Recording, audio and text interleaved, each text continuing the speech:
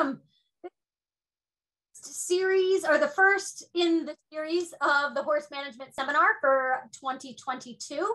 As I'm scrolling through all of our attendees' names, a lot of you look very familiar. So I'm sure you've been on some more of either my webinars or maybe you were here last year for our, our first virtual horse management seminar. Um, if you are new to uh, the Rutgers University Horse Management Seminar or any webinar series, again, welcome. I am Dr. Carrie Williams. I'm the equine extension specialist at Rutgers University. I've been here now uh, going on, well, this July will be 19 years. So um, I, I, know some of you uh, very well through a lot of my programs. And we are still muddling through um, the, the, I guess we can almost say post-pandemic era.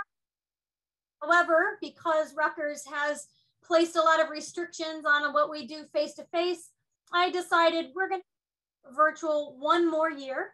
Um, they were so successful last year. I'm actually looking at my notes from last year. We had over 200 attendees almost every single day. So uh, of the of the series.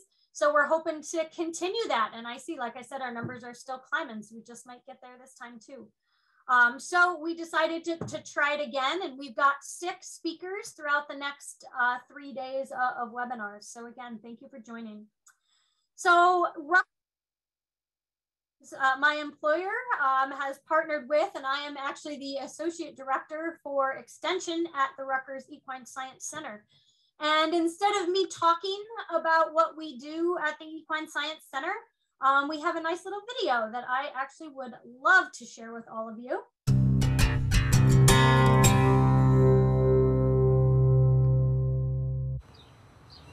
Good morning. Welcome to the George H. Cook campus home of the New Jersey Agricultural Experiment Station, the School of Environmental Biological Sciences, and of course, home, to the Rutgers Equine Science Center. Equine Science Center is a soft-walled center where we bring together the best and the brightest to solve challenges impacting horses, horse well-being, and the horse industry. To provide you more details about the research being conducted at the Equine Science Center and specifically the Equine Exercise Physiology Lab, I'd like to introduce Dr. Kenneth McKeever. Lab was founded in 1995 and since then it's been one of the most productive um, research labs in the country, if not the world. We've conducted studies looking at how to care for the aged horse, that's a horse that's over 20, We've looked at various drugs that affect performance. We've even done studies for the Army looking at food extracts that can reduce inflammation. So the Equine Science Center and the Equine Exercise Physiology Lab are a valuable asset to how we care for horses in the state of New Jersey. So we've all visited this morning the Equine Exercise Physiology Lab, part of the Equine Science Center at Rutgers. We have another facility where cutting edge research is being carried out, located on Riders Lane, and it is the site of the first of its kind environmental best management practices demonstration horse farm, located here on the George H. Cook campus. The team of scientists who are helping horse farmers become better environmental stewards and caretakers of the land is a team of multidisciplinary faculty, students, and staff led by Dr. Carrie Williams, Dr. Mike Westendorf, PhD student Jennifer Weinert, and other faculty, students, and staff from different departments here at Rutgers and beyond. Hello, I'm Dr. Carrie Williams, the Equine Extension Specialist here at Rutgers University and the Associate Director of Extension for the Equine Science Center. We are here at the Environmental Best Management Practice Demonstration Horse Farm.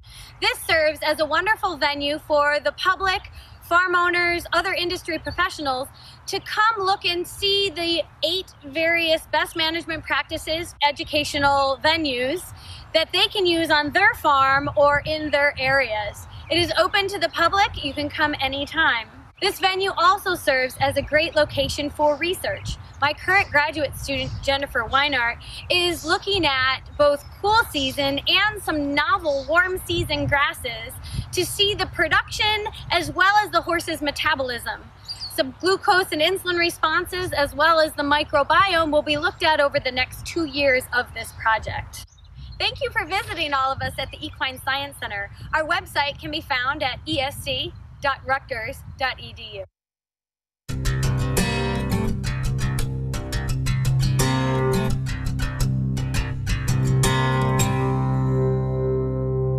So the next thing I want to do, actually, now that you know a little bit about us, I want to know a little bit about you. So here's what we're going to do.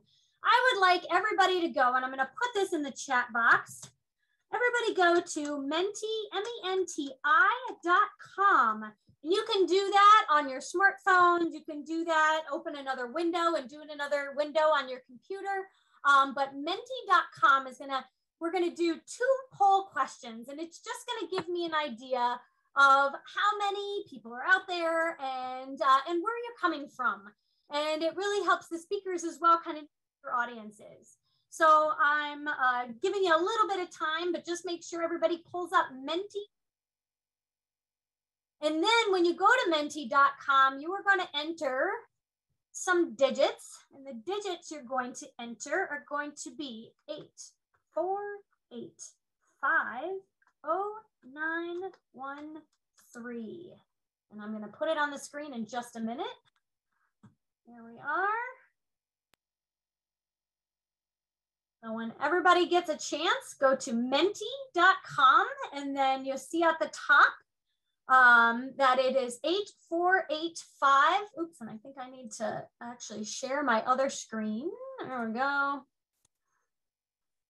There we go. Now you should see it, menti.com, 848-50913. Yeah, so I see everybody starting to get in there. Um, first, I want to know what state or um, so just do the state or just do the country, not both. Yeah. And the reason why I say this is because the more people from eight, the bigger the word is going to get. So I love watching the words change on the screen. Right now, New Jersey's winning, which, you know, is about right. That's usually what happens.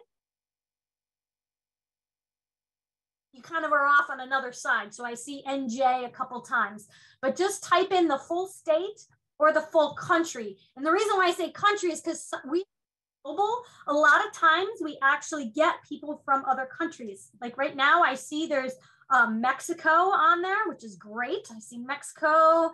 Um, I don't know. It's changing so fast. I'm almost getting lost. Um, but New Jersey and are close one and two. Um, but we have we've got quite a uh, all over uh, the state. Oh, I see Scotland. Excellent. So there's another country. Um, so if anyone's out there, and I'm going to leave this up for just a little bit now I see we have 100 attendees logged on to Menti. And I'm going to type this in again. So right now we are at menti.com for anybody who's coming in early. And then you can go to 848 nope, 913, 913. There we go. For those of you who are just logging in early. So go ahead and put this in Menti. you from what state or country and just uh, go ahead and, and put that in there till I start seeing things slow down and then we're going to go to the next slide. So right now, Pennsylvania and New Jersey, um, you know, a lot of our clients that have gotten the advertisements in these two areas, but I'm also seeing now Peru and Brazil. Excellent. Welcome. Thank you for joining us. And like I said, I had seen Mexico before along with Scotland. Seeing if I see any more faraway state, Alaska. Welcome, Alaska. I think that that's most of them. We're starting to slow down just a little bit. So I'll go on to the next one, but welcome everybody. Thanks for doing that. Um, so our next slide is asking us, what is your with horses? Um, I let you answer more than one thing. You know, if you're uh, you're uh, teach lessons, but also manage a barn, you can click on both of those. Um, but really, kind of what's your primary thing? Are you primarily a horse owner? Um, if you don't own a horse but love them, you might be a horse enthusiast. Um, you know, trainers, you give a trainer, you train horses, do you give lessons? Um, what about a barn manager? That's on there. And then uh, kind of have a list of any other industry professionals. So like feed, tack, pharmaceutical, um, etc. Um, veterinarians, even have a couple veterinarians out there. Welcome and thank you. And then uh, anything other and other, if you would like to put in the chat box for us as a host, um, we'll be able to see what other professions you might be. Um, and I know I see um, see that there's some uh, horse boarding, breeding, training. I see also my microphone isn't working well, which is about par for the course, but that's okay. I'm not the important speaker tonight. So we'll get we'll get someone else. Mounted patrol, excellent. Welcome there. Um, and a lot of boarding. So thank you for introducing yourselves. That gives us a really nice um, overview of the audience that we're, we're talking to. We got more path instructors, um, certified acupressure uh, teachers. Excellent. Well, I'll leave this um, leave this go. I won't turn it off yet if you want to keep answering, but um, I will stop sharing um, that screen for a minute because I've got some other things for us to do. And I'm also going to go switch to microphone again because that always seems to be the problem. So here are uh, things going forward before I introduce our first speaker. So um, first what I want to say is, while I know everybody's talking in the chat box right now, and that's great, but what's going to happen a little bit is we're actually going to not be using the chat box. So please, if you have a question for our speakers, I would much prefer that you put them in the Q&A. So there's down at the bottom of the screen, along with the chat, you'll actually see a bunch of other buttons and one of them is Q&A. And the reason why we're doing Q&A is because, you know, there's close to 100 attendees on here and the chat is going to get lost very quickly. So we won't be able to really look through the chat and to monitor all the questions. But yet in the q&a it's much easier to monitor them for both myself and, and those that are helping me monitor the questions. So we would really ask you if you do have an important question for the speaker it'll be answered during our q&a panel at the very end of the evening um, but go ahead and ask that in the q&a box um, and then we'll go ahead and, and get to that as well so with that being said i'm going to go ahead i'm going to read a short little bio about our first speaker, Dr. Mark Crisman. And then I'm going to play just a, a, short little video clip before I let him turn it or take it away and uh, tell us everything he's going to talk to us about today. Received his Doctor of Veterinary Medicine in 1984 from the University of Warsaw, Poland. He completed an internship and residency in 1987 at Washington State University and large animal internal medicine. And then he became a dip equine internal medicine in 1990 from uh, in 1990. And then from 97 to 2010, he served as faculty of the Virginia, Maryland College of Veterinary Medicine, where he was large animal clinical, uh, large animal clinical sciences. And I will say, this is the first time that I actually met Dr. Crisman. He might not remember me because I was a lowly little graduate student in the Department of Animal Science. But I did some work and uh, took some classes and heard some of his lectures um, over at the, the vet school, which is on the Virginia Tech campus. Um, he authored over 85 refereed publications and uh, book chapters, and recently has joined Zoetis as their senior veterinarian in July of 2010. He has joined the board for the Horses and Humans Research Foundation more recently in 2020. So people are not uh, uh, really associated with uh, with uh, universities, but uh, veterinary practices. I asked them if they would like to share a video um, about something that they do or what they work for. So we're going to just take a short little uh, snippet of time and watch this brief little video that Dr. Crisman sent me um, from Zoetis. So let me go ahead and share my screen and pull that up.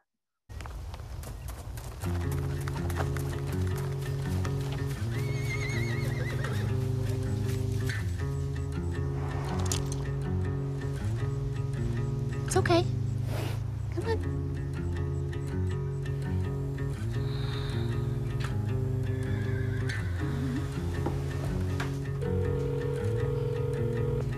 Hey, Mom. Just checking in. Hope you're doing okay.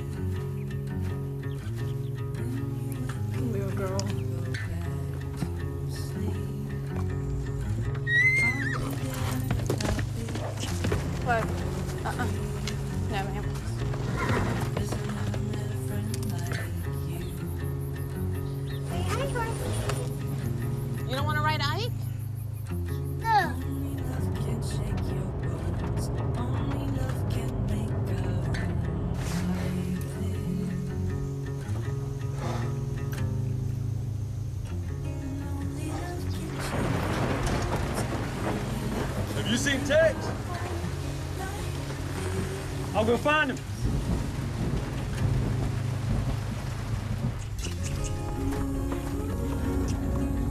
Well, that's right. And his eyes. You see oh. his eyelashes too?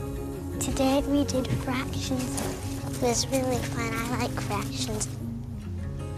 But you said you were concerned about some things. Well, she's just moving real slow.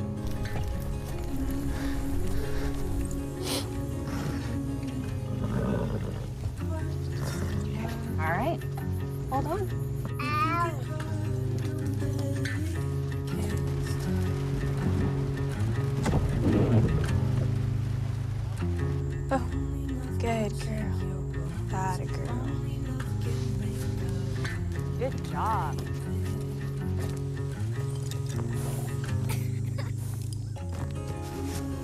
At the end of the day, you have to wonder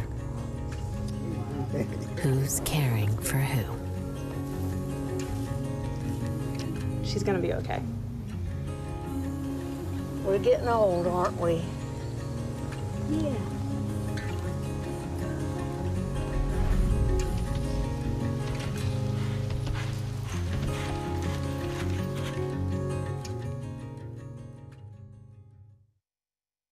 thank you for that kind introduction. And uh, I that video was is basically what Zoetis is all about. And I've seen that video about 20 times, and every time I get a little tear in my eye. So it's a very effective, it's a very effective piece. So what I want to do over the next 40 minutes is go over some studies that we've done. Um, uh, primarily, this, these studies have uh, have been sponsored by Zoetis. Uh, so I'm going to go over and hopefully I'll be able to get through the majority of them. And if we get shut off, then uh, we'll carry on. Um, so the first uh, the first study I'm going to go over is uh, a study that we did looking at uh, effective vaccination strategies and specifically related to Potomac horse fever. Uh, so uh, we completed this study a couple of years ago, probably two years ago, it was published. Um, and the title is a little bit confusing. The title is Immunogenicity of Potomac Horse Fever Vaccine when simultaneously co-administered with a rabies vaccine in a multivalent, which is two antigens, or uh, as two separate monovalent vaccines. And I'll explain that a little bit more. But the, the genesis of this particular study is that Potomac horse fever is a big problem. Uh, and we know that the vaccine has been around for probably over 30 years now. Uh, and it's the vaccine is not very good. Part of the problem is is that the organism, the Neorickettsial organism, has actually uh, mutated, and it's it's a different it's different now. It's kind of like the COVID story. They keep uh, mutating. So the reason we did this study is there are there are two different vaccines currently on the market. One is what we call a monovalent Potomac horse fever, uh, and that just contains a single antigen. The other one that's very popular, it's a combination. It contains both the Potomac horse fever vaccine or antigen and rabies together. And one of the things we've noted over the last several years is this concept of antigen interference. So when you get too many uh, antigens or antigens that compete with one another, uh, they reduce the effectiveness of one or both of the constituents. So essentially, we wanted to see check the response uh, of horses that were vaccinated. So for this study, and now it's not trying to change again. Um,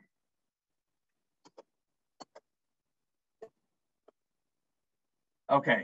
Uh, so what we did, we had 91 client uh, university and university owned horses that were in this study. Uh, essentially, these uh, these titers, we 45 of the 45 of the horses received the monovalent or the two vaccines, the rabies and the Potomac horse fever, at the same time at different sites on the neck. Okay, so they received two monovalent vaccines. The other 46 horses contained the multivalent vaccine, which was both the rabies and the monovalent given in the, the Potomac horse fever given in the same syringe. So we pulled titers for all these horses in December. Uh, they were assigned to their groups uh, of either the, the uh, multivalent or the monovalent vaccines. And um, then we pulled titers January, February, and March. Uh, so, and the reason we chose these months is those were the least likely months for these horses to be exposed to the organism during those cold winter months. So, um, so that's basically how the, the study was set up. It was a very straightforward design. We had epidemiologists and statisticians on this, so they were watching us the whole time. So essentially what happened, uh, and you can see on the x-axis, the one, two, and three, those correspond to the three months. So January, number one is January or one month after they were vaccinated. Two is February and three is March.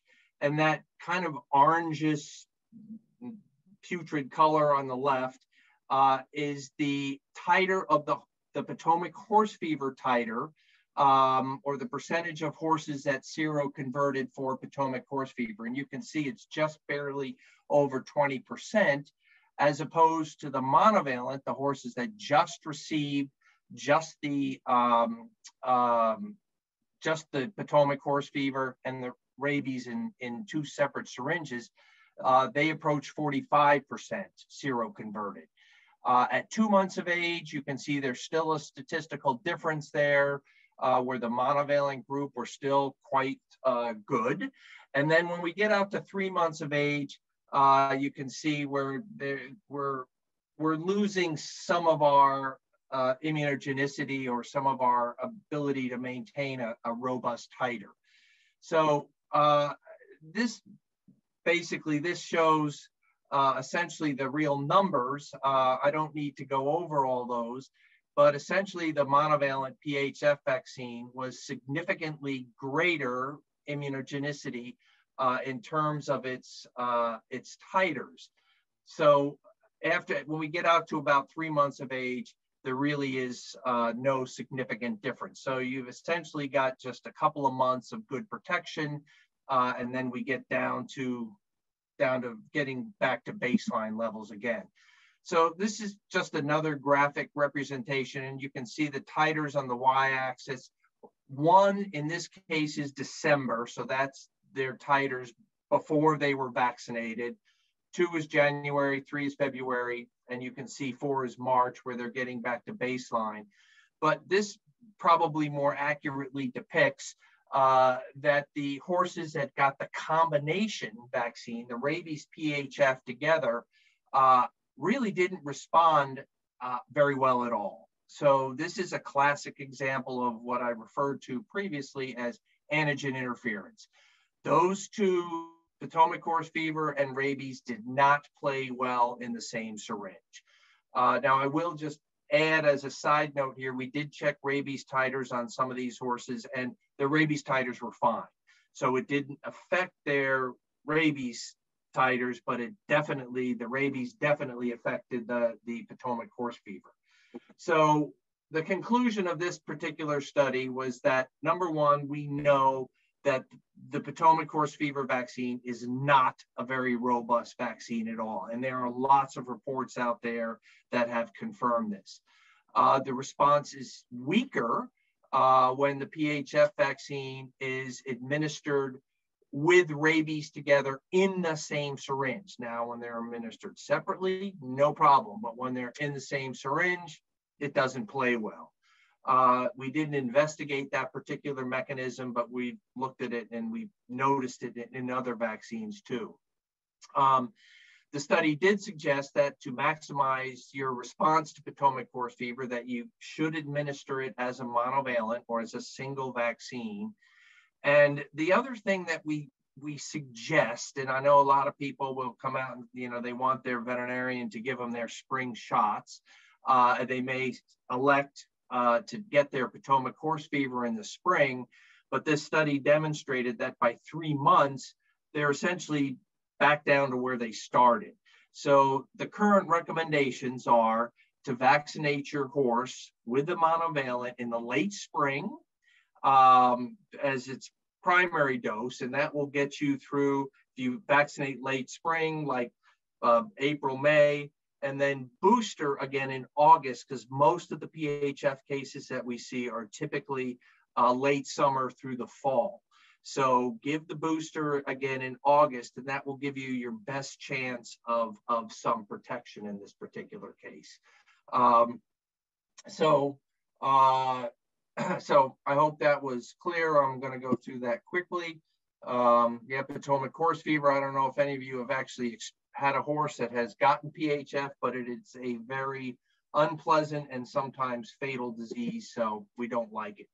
Um, now, this next study, this is really interesting. This just came out uh, in the Journal of Veterinary Internal Medicine, which is a really good journal. It was done at Texas A&M with a really high-end group of researchers. Uh, Dr. Whitfield Cargill is a really uh, very accomplished researcher. Uh, Noah Cohen on there is a really good friend of mine. Again, this whole group at A&M does really, really top shelf research. And the title of this particular paper was the effects of phenylbutazone alone or in combination with a nutritional therapeutic uh, on the, the effects, some of the side effects that we see from uh, giving phenylbutazone like gastric ulcers, intestinal permeability, and alterations in the fecal, fecal microbiota.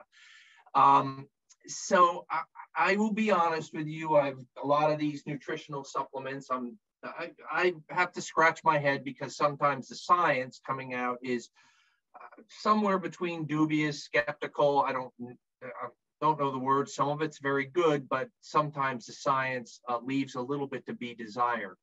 Uh, but the way this study was conducted was just outstanding. And that's the only thing I can, I can really highlight here.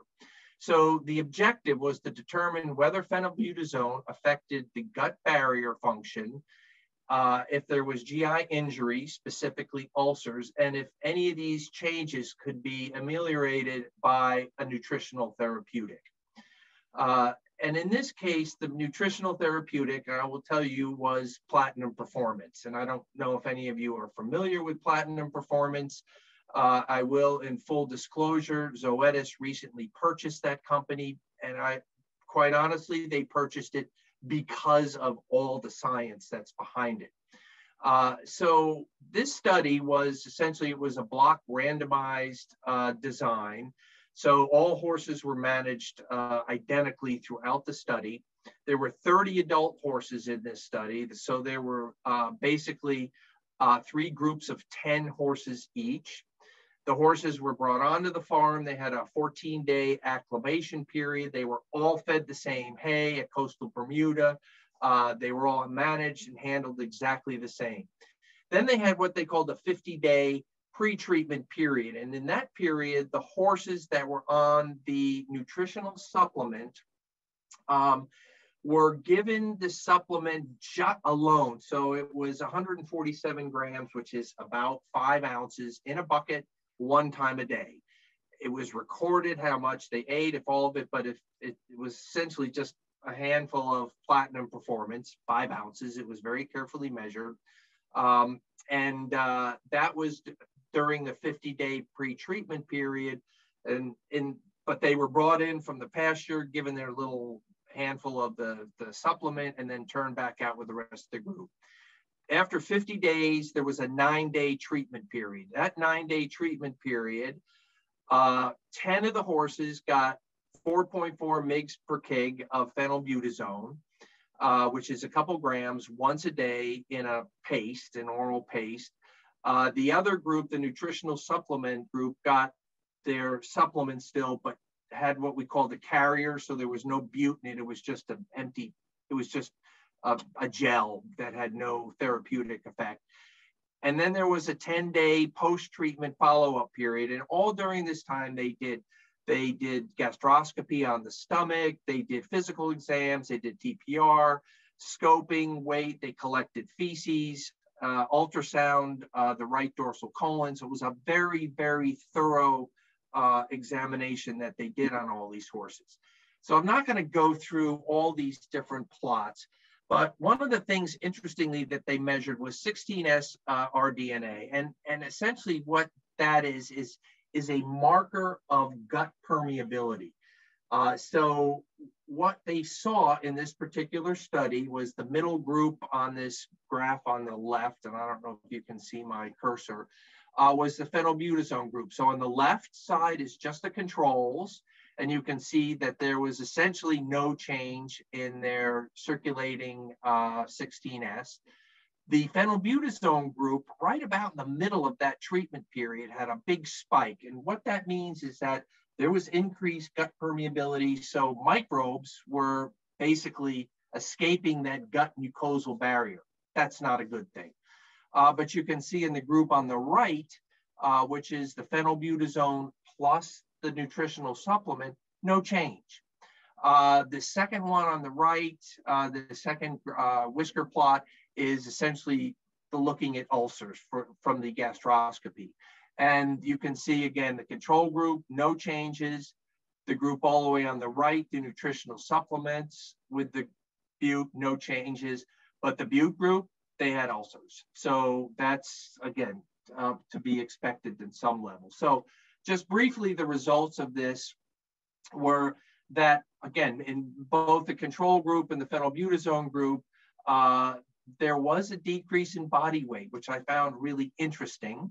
Uh, there was in the control group, they lost about 23 kilograms. The Bute group lost about 36 kilograms. Um, and uh, they in the group that got the nutritional supplement, no loss. They actually gained a little bit of weight, surprisingly. Uh, the ulcer score, as expected, there was no change in the in the control or the nutritional supplement group, uh, and there was, uh, as I mentioned, this 16S uh, rDNA, which is a measure of gut permeability, uh, was significantly higher in the group that got the phenylbutazone. So the conclusions were from this particular study was that but, phenylbutazone resulted in an increase in GI permeability, as I mentioned, transient bacterial translocation, that's the 16S rDNA, gastric ulcers, and I didn't go into this, but there was a disruption or an altercate alterations in the fecal microbiota. Uh, so these effects were pre prevented or attenuated by feeding this nutritional supplement. Uh, again, the exact mechanism we don't really know, but this is something that's going to be investigated further. So the bottom line is this was a really helpful study. It was really well done, well designed, well executed. And it's a study that convinced me that yes, this platinum performance, this nutritional supplement did indeed help these horses. So just as a side note, um, and I'm guessing there are a fair number of you, since I can't see hands, uh, of how many folks out there use Ulcer Guard or Gastric Guard or what we call this class of drug or the, what we call these proton pump inhibitors. Um, and they've noticed this for a long time, but these, uh, Dr. Sykes, who did his residency with us up at Marion DuPont, uh, basically has been looking at this for quite a while, uh, looking at the chronic effect of GastroGuard and UlcerGuard. Now, I want to make it clear if you have your horse that's injured or going to be on Bute for a while, it's fine to put them on, uh, uh, again, a, a gastroprotectant or a proton pump inhibitor for a week or so. Uh, but there are a lot of horses on the racetrack, for example, or horses that are in heavy competition that are predisposed to ulcers and they're on the drug chronically. And what they found from a lot of these studies, and I will tell you, many of these studies have come from the human side of the equation, but uh, we do see things like with long-term administration of omeprazole or UlcerGuard, GastroGuard, we see things like rebound gastric hyperacidity. Uh, we do know that it does, these drugs do affect the gut microbiota. Uh, another thing that we see is that uh, when we have a concurrent administration of GastroGuard or these uh, omeprazole and non-steroidals, uh, that we do see an increase in GI toxicity. Another really interesting thing that we that we've noticed this on, for a long time on humans, and to my knowledge, nobody's looked at this in horses, uh, but these these uh, omeprazole, these proton pump inhibitors, interfere with calcium metabolism. And in humans that are on chronically on these drugs, they see an increased risk of fracture. Nobody's looked at that in horses, and I think that's something that needs to be investigated. Uh, and the other thing is over time, chronic administration of these drugs, they do uh, build up a, a, kind of resistance to it. So it's basically the metabolism increases. So the moral of the story is the proton pump inhibitors have been a godsend for preventing ulcers. But like anything used too much, used too long, it's gonna have negative effects. On the other side is this is a case in point where these uh, nutritional supplement, in this case, platinum performance, was truly helpful in preventing a lot of those changes in horses. So enough of that study.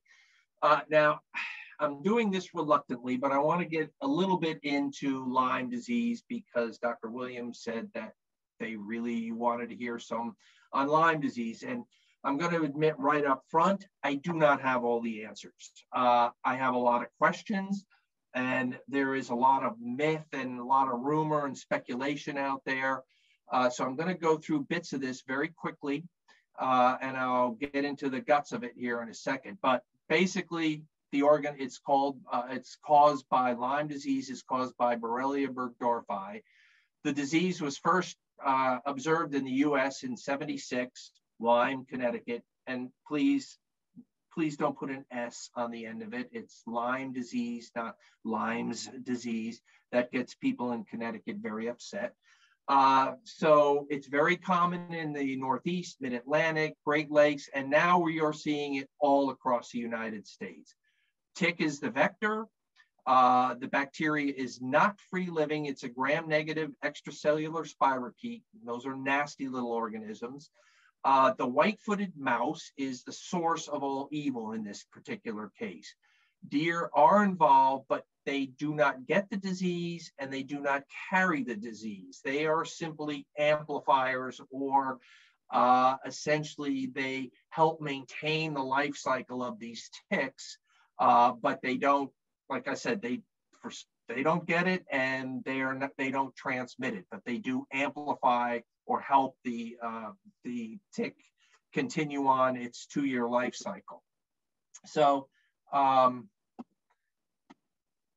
so basically, um, uh, again, we know that there are there have been multiple serologic uh, or seroprevalence studies that have been done uh, across the United States.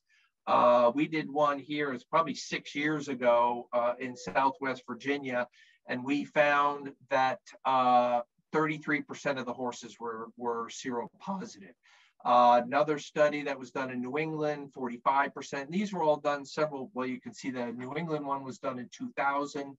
Um, so they've done been done all across the country, but there haven't been any done really in the last two or three years.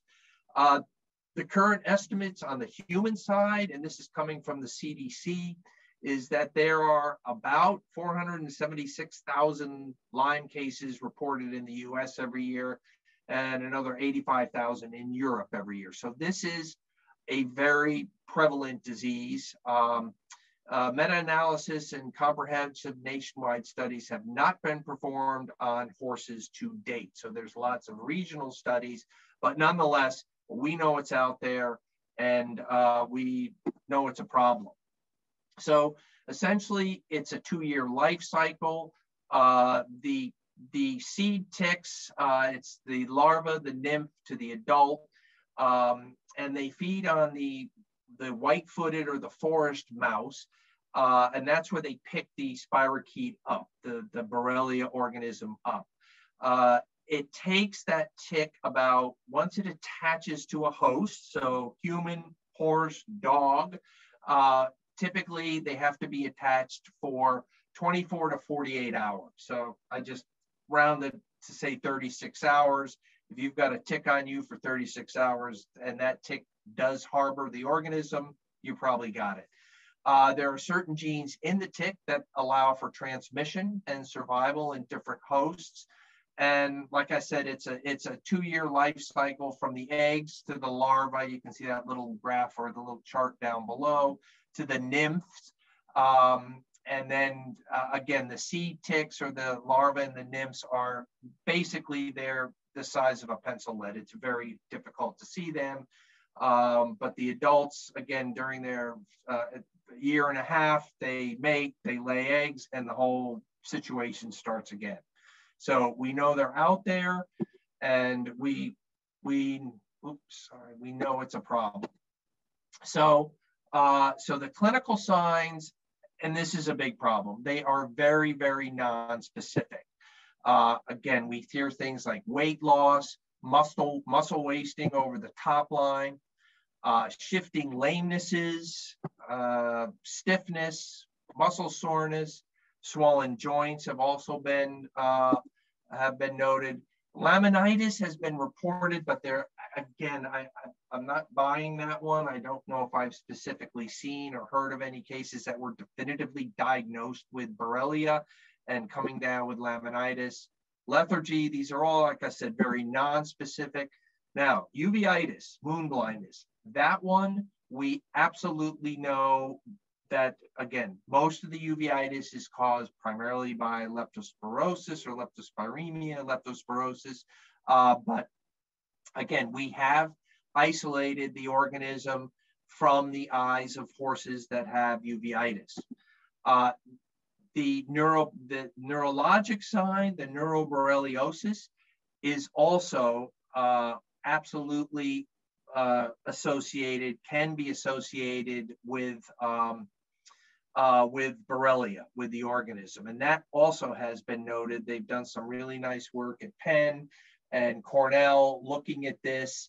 Uh, the problem is that the clinical signs look like EPM, look like Wobbler syndrome. It's, there's a whole host of other things that fit in there, but definitely you have to have uh, the Borrelia or the Lyme disease on there. Abortion, uh, I think that's been uh, reported a couple times.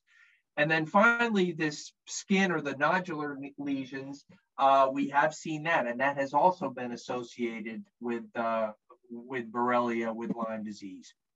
So again, those three different clinical syndromes uh, that I just mentioned, the neuroborreliosis, the uveitis, and the cutaneous pseudolymphoma, or the skin disorder, are three that we completely, absolutely know are caused by the organism. All the rest of the signs are just, again, we don't know. That's all I can say is we are not certain. We've isolated it. The horses are oftentimes uh, going to be seropositive, uh, but again, that's that's a real challenge. Um, so the association of, of a Lyme infection with stiffness and lameness in horses is really not well documented. And as I mentioned before, there is no evidence of infection causing laminitis. So the actual range and the specific clinical signs associated with Lyme disease really need further experimental and epidemiological evaluation. And we've done this at Zoetis. We, we have infected horses with it. And I can tell you, dogs, when we worked on, when we got the canine vaccine, dogs read the textbook. They did exactly what they were supposed to do when they were affected, infected with Lyme disease with the Borrelia. Horses all over the place, but that's a horse. Um, so there are some uh, really unique aspects to Borrelia, and this is what makes it such a challenge. Following infection from the tick after it's attached for a period of time, uh, it will spread locally, primarily through uh, connective tissue, the blood to some level, uh, but again, there can be both local and systemic dissemination of the uh, of the organism. The organism resides in connective tissue. This is important because it you can see my little note there. It does not need iron to survive. Most microbes, most microorganisms require a source of iron to survive. These little nasty organisms do not need iron to survive. Uh, where they get their iron from, the other organisms, is blood. How do we treat those organisms? We give them antibiotics, Where is it? It's in the blood. And hi ho, hi ho, we hopefully cure or combat the infection. Not the case with Borrelia.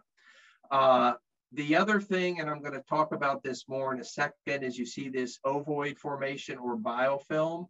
This is a real nightmare. And this is where we are battling this right now. And uh, we're actually getting ready to start a study looking at this biofilm form.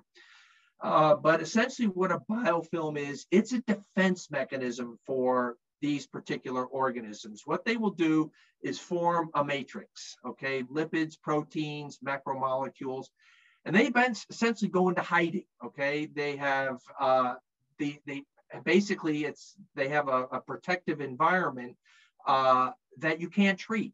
They just, there's no antibiotics, there's no way to treat them. So the organisms are essentially just hiding from the immune system, from antibiotics, from everything else, and they're just sitting there waiting for the conditions to become right for them to re-express themselves. The things that cause them to go into this biofilm, there you go, I've underlined exposure to antibiotics. And this is a problem I cannot express enough. Uh, because a lot of the antibiotics that we use, because they can't get into the, they, they can't get to where the organism is in connective tissue a lot, uh, often. Uh, so you're basically just you're show you you're basically making the organism angry, and it goes into a biofilm. Uh, starvation, pH changes, these are all defensive postures by this particular organism, and it hides. Uh, it will not reactivate until the conditions are appropriate. Uh, so as I mentioned, yeah, that this biofilm form is extremely challenging to treat, almost impossible to treat. Incomplete penetration from or inactivation of antibiotics. So it will sit in this dormant state uh, for months, for an extended period of time, until the conditions are correct, and then they recrudesce. So a lot of times people will say, well, I treated my horse uh, and it got better. And, and then it started showing clinical signs again. Uh, so it must have gotten reinfected. Well, it was because often the it could have very likely been reinfected, or more often than not, this biofilm just relaxed, the organism reactivated, and off we go again. So this is a challenge, and I can't uh, highlight this enough. So um, so uh, now, so what about testing? Here's another whole quagmire. There are no really good tests, and I've listed a bunch of them here. Um, there's ELISAs, there's Western blot, there's a multiplex, which you're probably all familiar with. That's a very popular test that comes out of Cornell, which has some problems with it. They all have some problems with them, uh, but regardless of the methodology, a positive result does not prove causation of current signs or clinical infection, nor does a positive result predict whether the infection is likely to cause clinical disease in the future. So we do these tests, uh, but it's very, very difficult for us to absolutely say what they what it actually means as far as the infection because of the biofilm, because of all the other uh, points that are associated with it. Uh, this test, the SNAP test, uh, people think ah, it's not very much. This is actually a really good test. Um, and if people are bound and determined to test their horses for some obscure signs or lameness or something that they think may be associated with Lyme disease because they pulled a tick off their horse, it's a quick and easy stall side test. Uh, it does it's based uh, on an antibody to a peptide, which is this region C6. Um, and it's, it's a really good test. So when we talk about sensitivity and specificity, um, if it's positive, 67% chance that's true. The interesting thing is if that test is negative, it's probably about 92 or 93% that that horse does not have the disease. So it's a SNAP test, it's a stall side test. Uh, it will can also help diagnose anaplasmosis, which we see more frequently than Lyme disease. Uh, it's not licensed uh, for actually, uh, I don't think really any of these tests are licensed for use in horses, uh, but it's a good test. And I encourage the veterinarians as a screening test, if they insist on testing, this is a good one to go to. The multiplex, it's been around for a long time. It's, it's a fairly good test. Uh, they give you nice breakdowns. So if the OSP-A is high and you can see the sensitivity and specificity there are not as good as the little C6 test, uh, but OSP-A usually or may indicate vaccination. Uh, I've seen horses that were not vaccinated that had OSP-As through the ceiling for a year. Uh, OSP-C, here's where we get into the big problem. We do know that there are seven pathological variants of OSP-C. That's a given, that's a fact. The problem is that the Cornell, the multiplex only tests for one. So it could come back negative, but your horse could be infected with one of the other six versions of the pathological variant. Uh, it usually takes several weeks after the tick bite and infection before we start to see increases in OSP-C. And then finally, OSP-F is if it's chronic. Uh, so that will, again, that's uh, again where we see the sensitivity or a positive as being a true, a, a positive there being true positive is, is pretty reasonable at 86%. Um, one of the things that I suggest oftentimes is if you get results that you have trouble interpreting from, from the multiplex, uh, the University of Connecticut's been at this for a really long time, and they do a combination of an ELISA and a Western blot, which are two pretty reasonable, pretty good tests. So I tell people, look, if the, if the multiplex is a bit sketchy, you don't understand it, back it up and do these tests. And uh, now you've got several bits of data. Hopefully you've got the C6 test, the SNAP test, you've got the multiplex, and you've got the ELISA and the Western blot, and somewhere plus looking at the horse clinically, what is he doing? Somewhere in there is the truth. Um, so um, yeah, I'm about at the end here. So treatment, uh, here's another problem. So typically, uh, we don't have an ideal regimen. The investigation is we don't have a good disease model, and we've worked at this at Zoetis uh, for establishing a definite antemortem diagnosis. Uh, and then treatment recommendations have been based on in vitro studies. Uh, and we have, I've got a really nice one that I did with Dr. Divers a few years ago. Uh, and or they're extrapolated from human treatment guidelines. Typically what we do, we use oxytetracycline, minocycline, uh, Naxcel is what they frequently use on the human side. And doxycycline which I know is a lot of veterinarians' favorite and the clients like it, it's got huge problems. And if I could take all the doxycycline off the shelves, I would do that in a heartbeat, but that's a point for another, another discussion.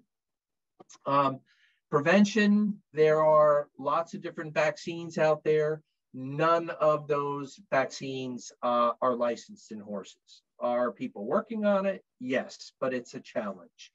Uh, so most of them have just OSP-A, but OSP-A has a short half-life of about three months. Uh, so you have to revaccinate those horses. And oftentimes I know they say a double dose every three months. That gets wicked expensive. Uh, there is uh, several canine vaccines. A couple of years ago, Zoetis came out with a chimeric recombinant Lyme vaccine. And I mentioned the seven OSP-C variants. Uh, that vaccine contains all the variants. So it's not just one, which is present in just about all the other vaccines. This one has all the variants in it, uh, but it is only licensed for use in horses. They're looking at tick saliva vaccines. Uh, there's a host of these things. So um, basically, the challenge here is that uh, uh, again, that the infected ticks are there. You know, what is the geographic location? We've seen them all over the US. Clinical signs, again, non-specific, all over the place. Oftentimes said anaplasmosis is what we find. Um, high antibody levels uh, to the Lyme or the Borrelia or identification of the organism uh, or compatible cytology and pathology, that's a challenge also. Uh, ruling out other causes of the clinical signs. So sometimes these horses just are lame. They have joint disease or osteoarthritis. Um, the other thing is people will say after we start treating them with the tetracyclines, uh, it must be working because my horse is getting better. Well, tetracyclines have a very pronounced anti-inflammatory effect. That's probably why your horse looks better because of the anti-inflammatory effect where it's actually probably not even treating the Lyme disease if it's even there. Uh, so again, a host of issues and I'm gonna tie up here. Uh, for any of you that are interested, there's um, the um, there's a consensus statement. You can go to acvim.org uh, and the College of Internal Medicine, we put out every couple of years, we put out these consensus statements where they get a group of experts together and we look at all the data and say, what is the truth? What is out there right now? And what can we say is fact and what can we say is probably fiction?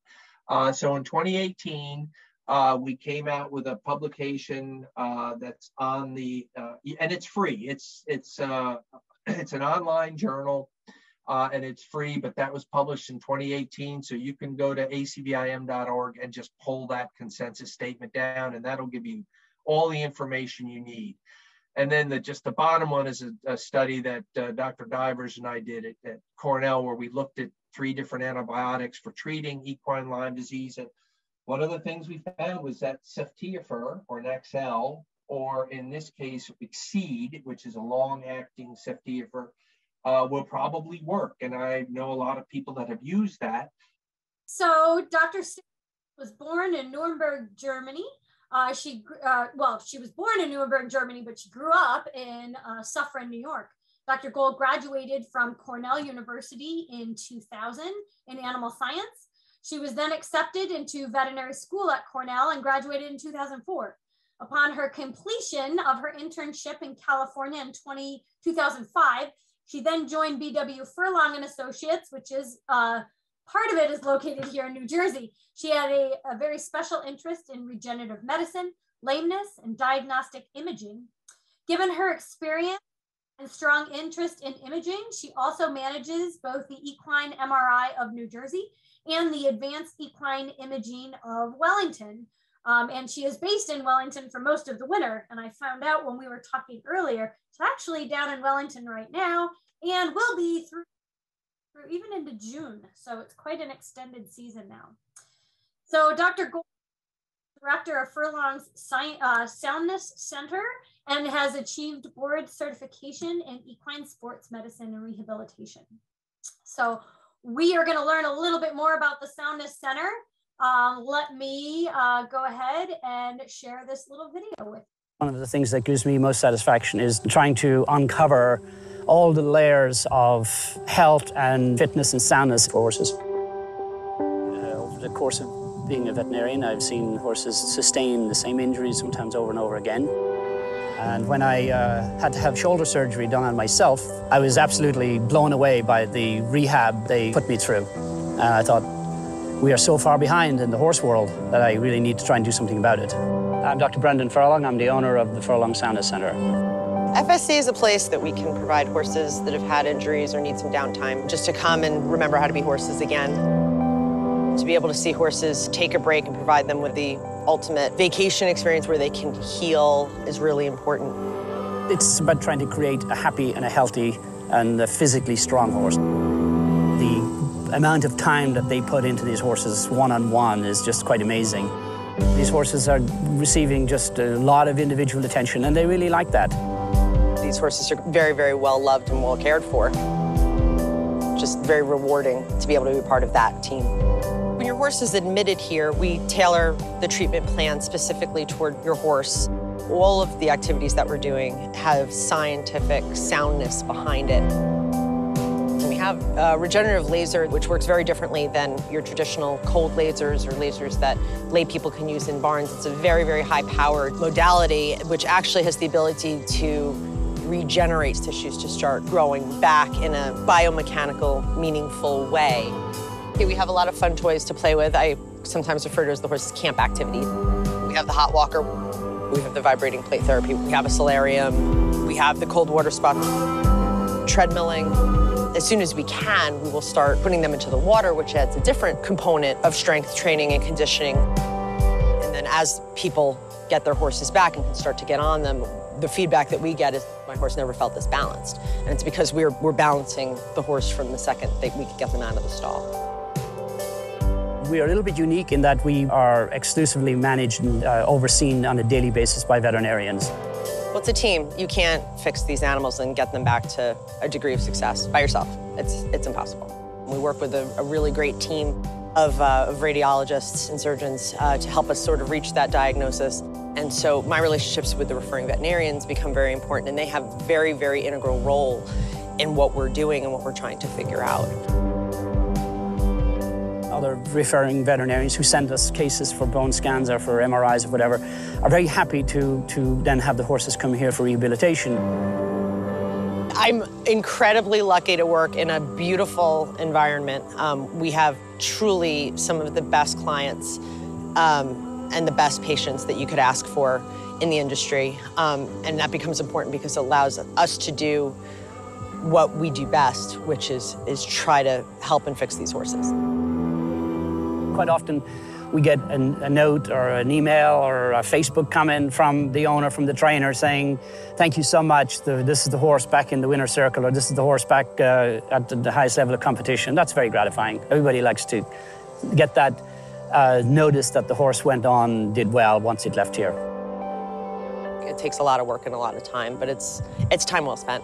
It's really the best the best way in my mind to be able to provide a service to these animals that give us, you know, so much joy and pleasure on a on a day-to-day basis. I think that the health and well-being of the horse should come first. How do you measure happiness in a horse? We create an environment free of stress with people who are dedicated to doing a really good job. All right. So that that gives a very nice intro to what Dr. Gold is going to talk to us today about. Um, and I asked her to give us kind of the goods, bads, ins, out, new, tried, tested, and to, true um, with rehabilitation. So, um, Dr. Gold, I'll let you go ahead and unmute, share your screen, and uh, and take it away. And just a reminder to everybody I am managing the questions uh, in the Q&A box. So if you do did have anything for our last speaker, we're going to have the panel at the very end. Um, if you have any for Dr. Gold as well, you can do the same. So go ahead and uh, take it away, Sarah. Hopefully everyone can hear me and see my screen. And uh, thank you, Dr. Lamb, so much for having me come and share some thoughts uh, about a subject that I'm really passionate about. Um, I do wish we were in person. Um, but I'm really excited to see how many people are interested in this subject. So hopefully I can keep you all awake and um, follow up Dr. Crisman, um, did an awesome job. I know I have a lot of questions, but um, I'm going to focus on something completely different, um, which is uh, rehab and conditioning in horses. So um, I am going to try, sort of the way my brain works is I, I do jump around quite a bit, which hopefully at this hour um, maybe better. Um, but I'm going to probably start by putting you a little bit to sleep with some definitions um, just so we're all on the same page with what we're talking about. And then we'll go into a little bit what do we know about tissue healing and athletic training. Um, and I think it's really important to remember that, um, you know, I'm going to be talking very broadly about injury and then levels of athleticism. And a lot of it applies to the to higher levels of athletes, um, equine athletes.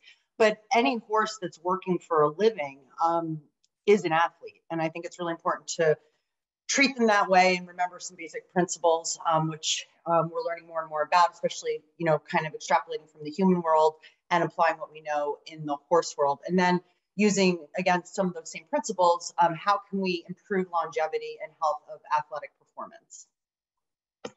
So a, a wordy slide, um, but again, just trying to get us on the same page. So when we talk about rehabilitation, we're talking about the action of restoring someone to health or normal life through training and therapy after imprisonment, addiction, or illness. And then conditioning is a process of training or custom or customizing a person or animal to behave in a certain way or to accept certain circumstances.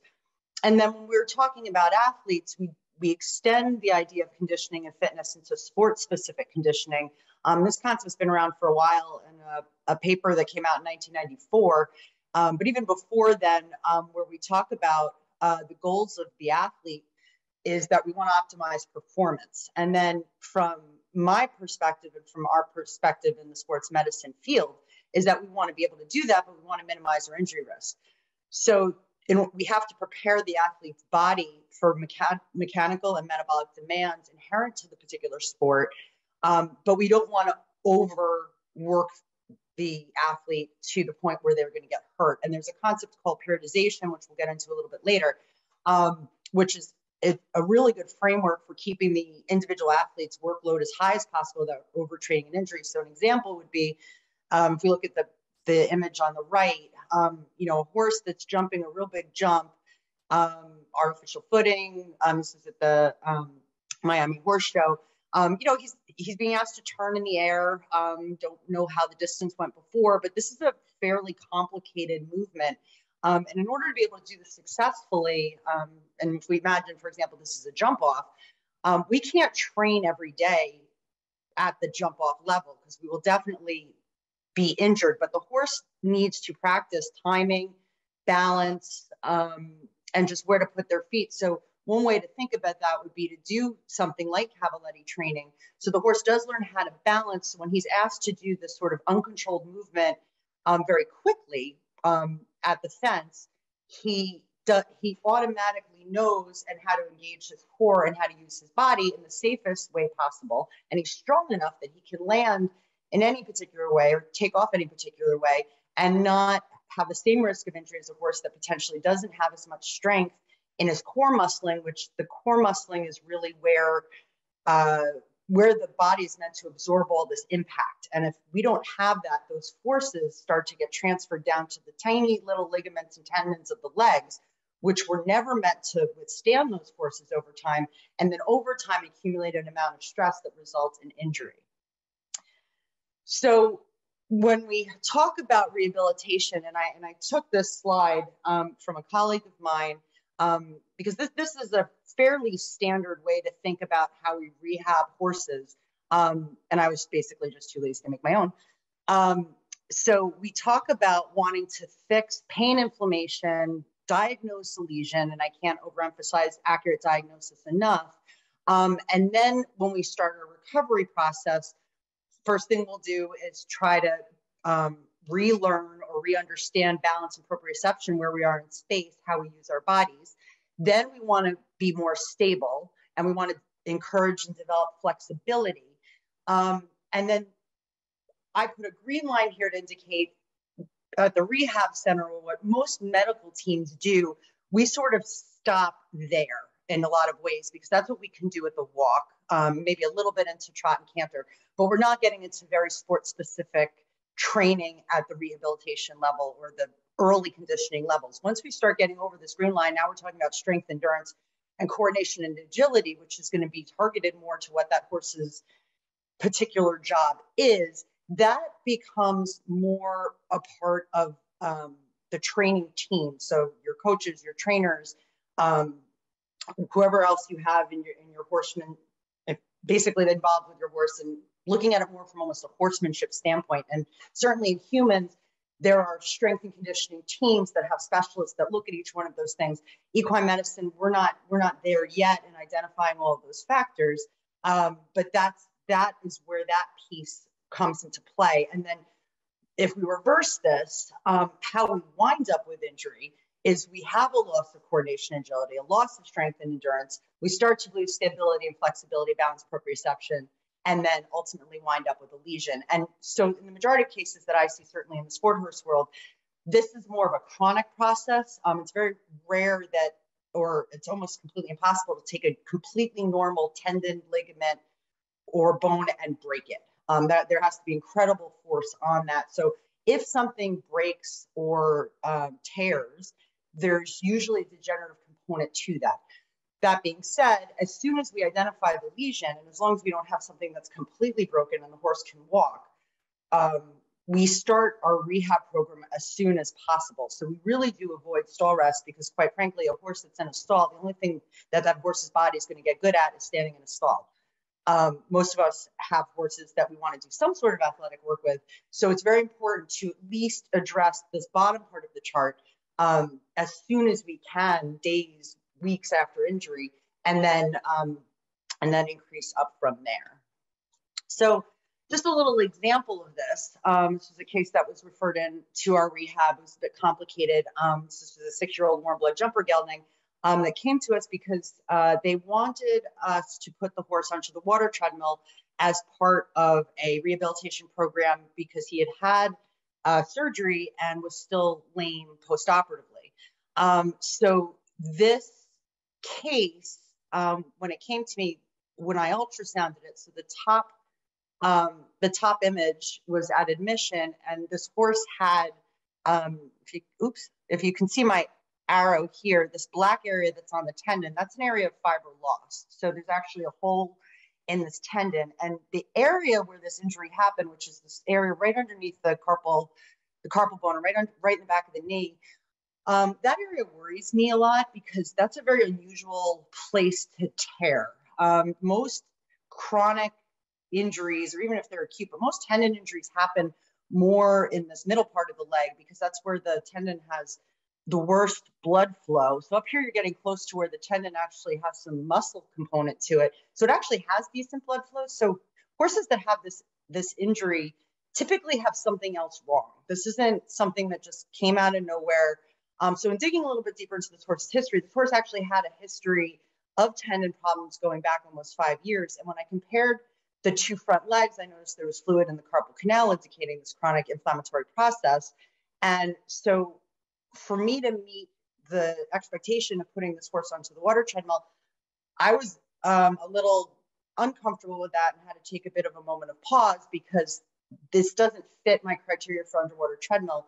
Um, and I and we'll go into a little bit later why we have to be really careful with water exercise in horses. But what I didn't know is this injury um, and we just watched it over a month where there was still still a hole present. Um, if this was on the process of unraveling, um, and anything that I did to this could potentially set that off, and that becomes actually a life-threatening process. So I didn't want to just put it into the water treadmill. I wanted to monitor it and see which way we went. So um, I think a really important concept to understand, and we'll get back to that case in a minute, is, is how tissues heal. And this is one of the first versions of this chart that I saw um, in 2010, but it's in every orthopedic book, human, animal, that goes through this process of how things heal. And um, and this is true of every soft tissue. Uh, bone's a little bit different. Bone heals very differently and actually has the capacity to completely regenerate with um, if it's healthy bone. Um, but what we what happens is in the first two to three weeks we have this. I'm sorry, the first a few days, we have this very acute inflammatory process. So this is when you're going to be applying your ice. This is, is when you want to rest with very minimal walking, um, just enough to get them out of the stall and try to get things moving a little bit. Um, but this this area is basically this time everything is is a bit of a war zone. So we just want to try to get everything to calm down. So even if you get called out because the leg got swollen just after a jump school or a training session or something, um, and we do ultrasound it and we see something, um, we still want to wait a little bit to see how things sort of shake out. So we want to hit this really hard with anti-inflammatories. Um, and then and then over the next two weeks, we're going to start to get that clear out a little bit. And then when we ultrasound it, we can see a little bit better what we're dealing with. And that's when we're going to recommend or, or talk about maybe orthobiologics. Um, I should also say that we use the regenerative laser a lot in this acute inflammatory phase as well, because again, we want to sort of optimize that acute cleanup process. Um, but here we're going to get into um, doing some, maybe some direct injections with orthobiologics or regenerative medicine. And then from the next about three to six weeks, um, we start to get some fill, and That's going to be type 1 collagen. And then really going over the next three three months to six months and then even out to a year, um, this is where you're going to get the remodeling. So you're actually going to get strength um, and here's again where where the rehab becomes really important because this is where we want to tell the horse's body as you're laying down this tissue, this is what your job's going to be. It's not going to be standing in a stall. It's going to be carrying your weight and moving and doing different exercise again low impact, but to try to train the the tissue along the tensile lines of biomechanics of what the horse's job is ultimately going to be. And for any science nerds out there like myself, this is this is a much more detailed version of what's going on and why the other chart looks the way it does, which is just the different type of cells that are coming in, doing different sorts of things. Um, but what's what's important to see is the numbers down here at the bottom. So in this first really acute inflammatory phase, we only have 10% strength, and then up for the next month, we're about 30 to 40, and then from again that one month, two month, three month, up to a year, now we're at 50%, 70%. And depending on how chronic the process was leading up to the actual tear, um, we're dealing with tissue that doesn't have normal tensile strength, which it becomes important when we think about re-injury. Um, and then to jump again, to keep you all awake, um, when we talk about water and we're talking about putting horses onto a water treadmill, I think it is important to uh, just make the distinction that uh, I'm talking about putting horses onto a water treadmill, which is very different than swimming sport horses. Um, and the reason why I want to bring that up is because when you put a horse into a pool and make them swim, um, it is important to realize we are making them swim. They are not horses are not natural swimmers. They do a very violent action behind where they're sort of kicking out, and then they sort of use their front end to steer a little bit. But they're not like dogs; they can't swim like that. So a horse that that has a bad neck or bad back, they're, they're inverting their back and they're inverting their neck. Um, any low arthritis in the lower neck, which is very common in older sport horses, as well as the back, as well as hocks, um, you are going to aggravate that with swimming. Um, most of the sport horses I work on are quite large, so the amount of water that they displace, and then typically with their level of fitness, the amount of energy and fitness they need to have in order to swim doesn't equate, and they could sink. So that is terrifying. Um, but really, where swimming has a really good role is uh, is in racehorses because now you have a way to really improve your cardiovascular fitness. These horses are typically very young, so you don't have the neck and back concerns that you would have with an older horse that maybe has some arthritis. Um, and this is a very good way to get younger horses get a better amount of fitness on them. Um, but that is a very specific population. So again, going back to the water treadmill, um, and we'll get into, we'll do a little bit of a dive into this, but there's a lot of research behind this. Um, and there was most recently a consensus for general use of equine water treadmills for healthy horses, which is a really nice summary. It is a free paper. Um, so if you go into PubMed, like Dr. Crisman was talking about, or no, I think he's just sent you straight to ACVIM, but if you go into PubMed, um, and you just go, you just look up equine water treadmills, this paper will come up and has free access. And it's a really nice summary of what we know about applying um, equine water treadmills as a part of a horse's conditioning program. Um, but the factors that we consider the height of the water, how fast is the horse walking, the temperature of the water, because horses can generate a lot of heat and warm the water, and then they can't cool off because they're in this warm water. Um, how long they're doing the exercise for. Some horses, patient temperament. I mean, if you have an expensive horse and you got this expensive water treadmill and the patient's not into it, um, this may not be a good exercise for them because you might have a loss of equipment. Um, there's a very big difference between uh, treadmills that are underground and above ground, both in clinical effect, clinical use, and cost, uh, most importantly. And the underground treadmills, uh, they can really give you the buoyancy effect, which is the ability to float the horse and make it really low impact. Um, but those treadmills are much, much more expensive and, and different and more difficult to maintain.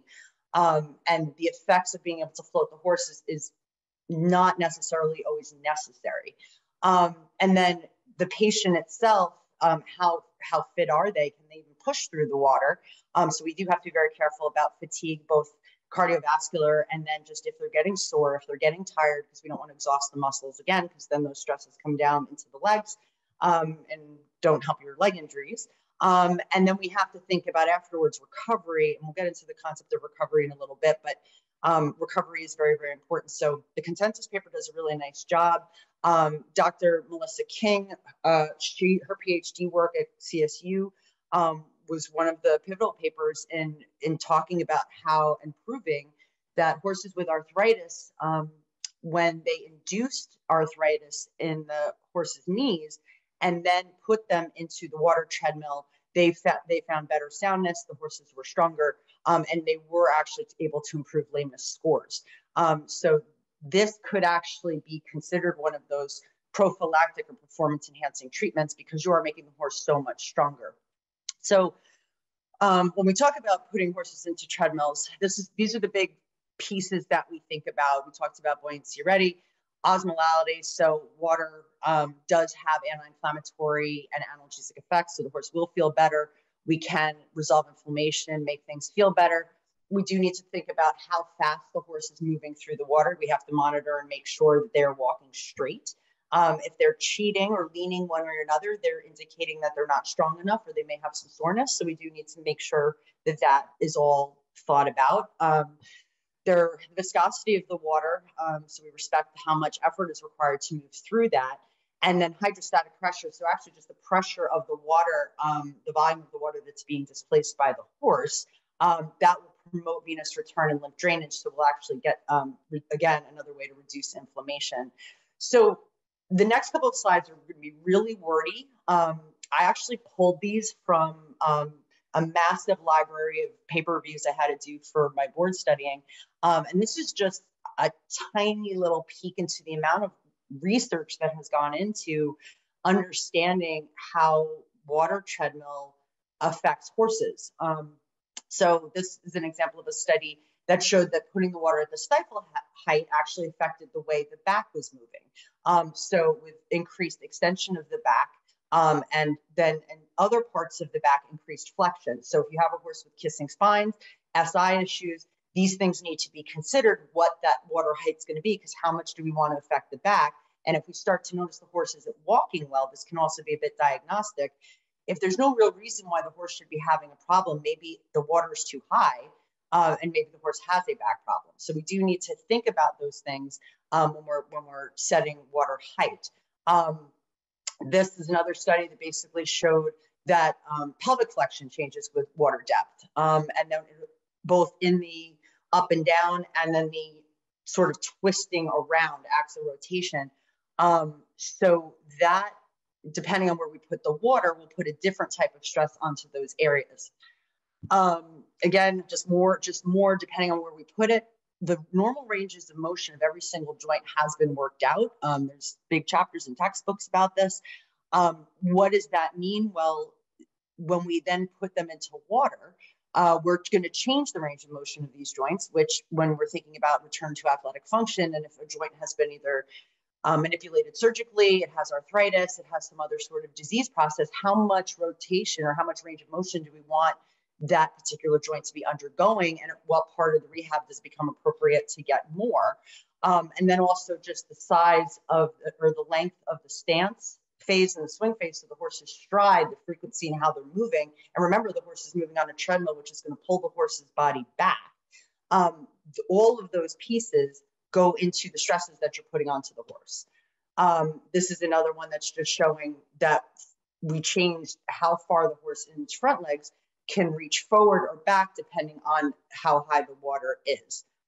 Um, and this is another study that actually shows that depending on how we're using the water treadmill, are we changing the properties of muscle, um, which can become very important depending on what the horse's job is. So type one, type two muscle fibers, fast twitch, slow twitch, um, those come into play. Is the horse have to do more of an endurance exercise? Is it more of a power and speed?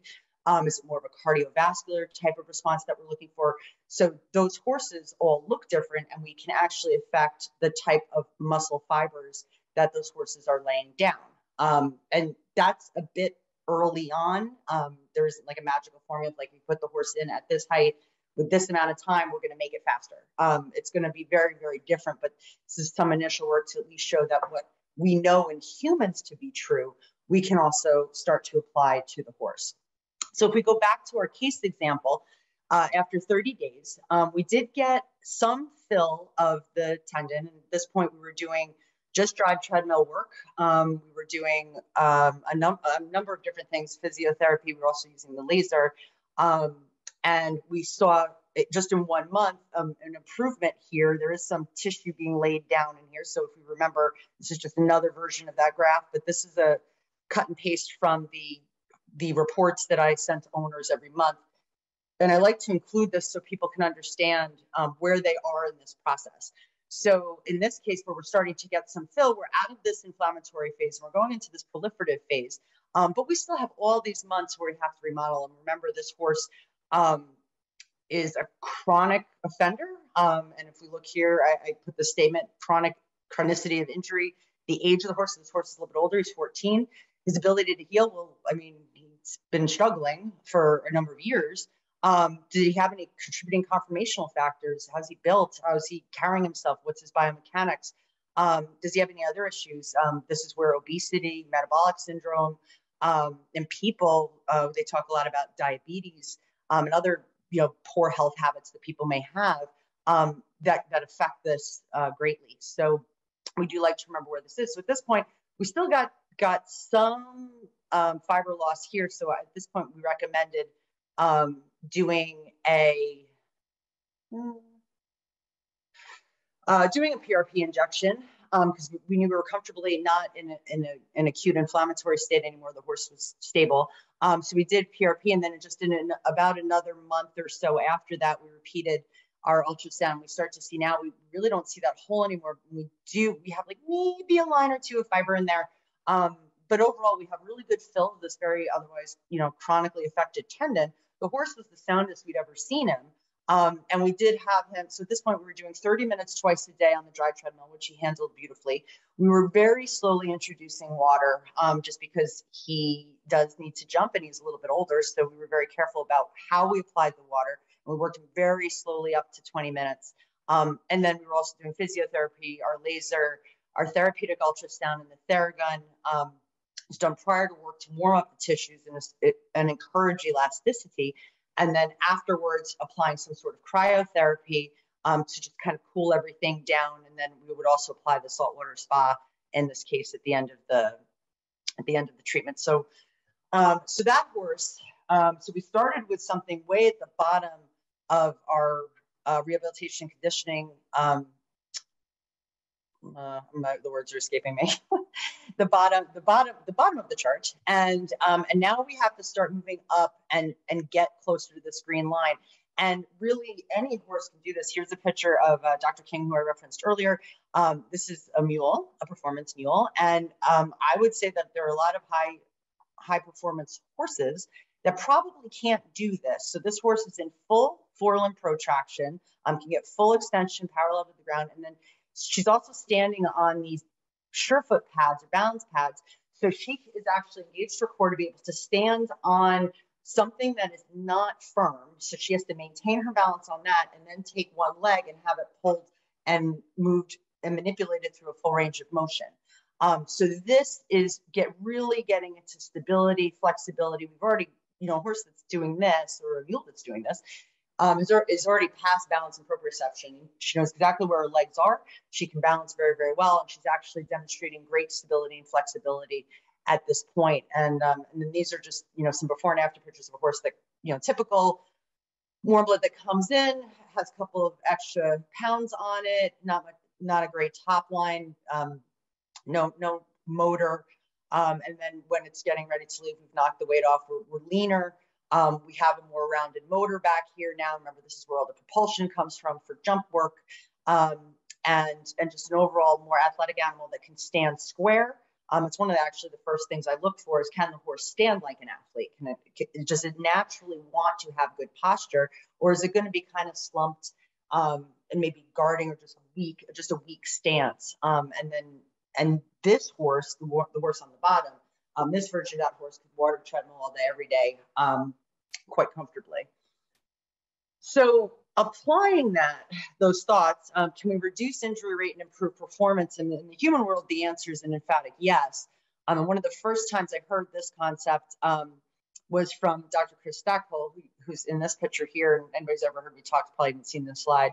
Um, so the Portland Trailblazers were the, um, they had the highest injury rate in the NBA at the time. At the time, um, and one of the reasons why this is really well worked out in humans is because we're talking about millions and millions of dollars. And I actually have a slide in that I took out when, for example, like when Kevin Durant got hurt, missed majority of the season, that team lost $50 million. So when you're losing tens of millions of dollars, there's a big impetus to try to solve this problem. Um, so what uh, Dr. Stackhouse came, or Stackpole came in and said, all right, well, let's identify the factors that we think are contributing to this. And what, what's worked out very well in humans is that diet, cross training for strength, and then your recovery, your sleep or your active recovery, those are the three most important components to improve your rate of injury. Um, so he started applying these principles. And then if you look at the red line, which is your league average of injury, he dropped them very quickly down to the $6 million mark, which is way below the um, NBA average of injuries. So just by just by applying these principles.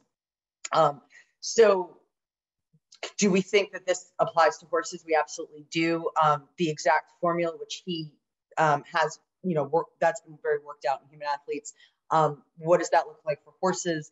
Um, you know, there's there's some different parts to it, but certainly we can appreciate, you know, being on a good diet, cross training for strength, and then making sure horses have adequate recovery. Um, we want to start applying some of these these human thoughts to how we train. So, as I mentioned earlier, periodization training, that's the deliberate manipulation of training variables to optimize performance for competition, prevent overtraining, and progress performance. So, there's a lot of different um, articles that talk about this. I just pulled this one out because this one's actually a bit simple. Um, but what you want to think about is that you is when do you want the athlete to peak? And there's a couple of different training regimens, um, and it is very sport specific in humans. But most human athletes peak one to two times a year. So what you want to do is make your peak happen at the most important time.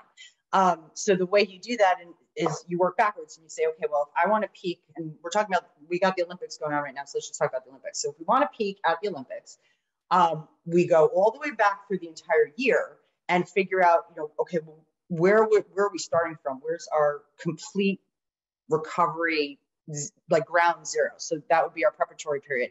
And when we start doing that, we're going to do very simple exercises that are medium intensity, but we're going to do it a lot um, to just get the body to start thinking about it. And then as we start transitioning to get closer to the competition period, we're going to start ramping up the more sport specific technique and training. And we're going to, but we're going to decrease the volume. And then as that happens, you will get your peak at the right time. And then as soon as that peak's done, you're going to go into an active recovery. And this this we'll get into we'll get into in a moment if that's actually how you build strength. So when you have a, a seasoned athlete where the body really knows and understands what the job is. There's good muscle memory. Um, the the athlete is mentally understanding, and now obviously I'm talking about people. They understand the job, they understand the game, they understand their teammates. Um, this is going to look a little bit different for the seasoned athlete versus an athlete, a young athlete that needs to learn those different things. And sometimes you have to stay here a little bit longer. Sometimes you have to kind of get into the techniques a little bit faster. And that's all going to be very sport specific and a little bit individual. But again, this idea of, of being able to train so you peak at the right time is very well worked out. Um, and then in terms of getting better, um, so there, and this is an extrapolation to an equine device, um, which is trying trying to do a similar thing that's happened in people.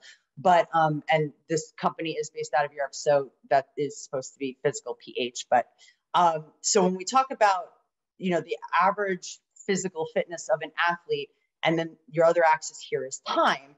What you do is you do you'll do a training session here at time zero, and the body will decompensate. So if we think back to that healing time, the body does get injured in a really intense training session, but it's on a very microscopic level. So you're not tearing anything that you'd see on an ultrasound, you're going to break anything, but that is what results in delayed onset muscle soreness or DOMS.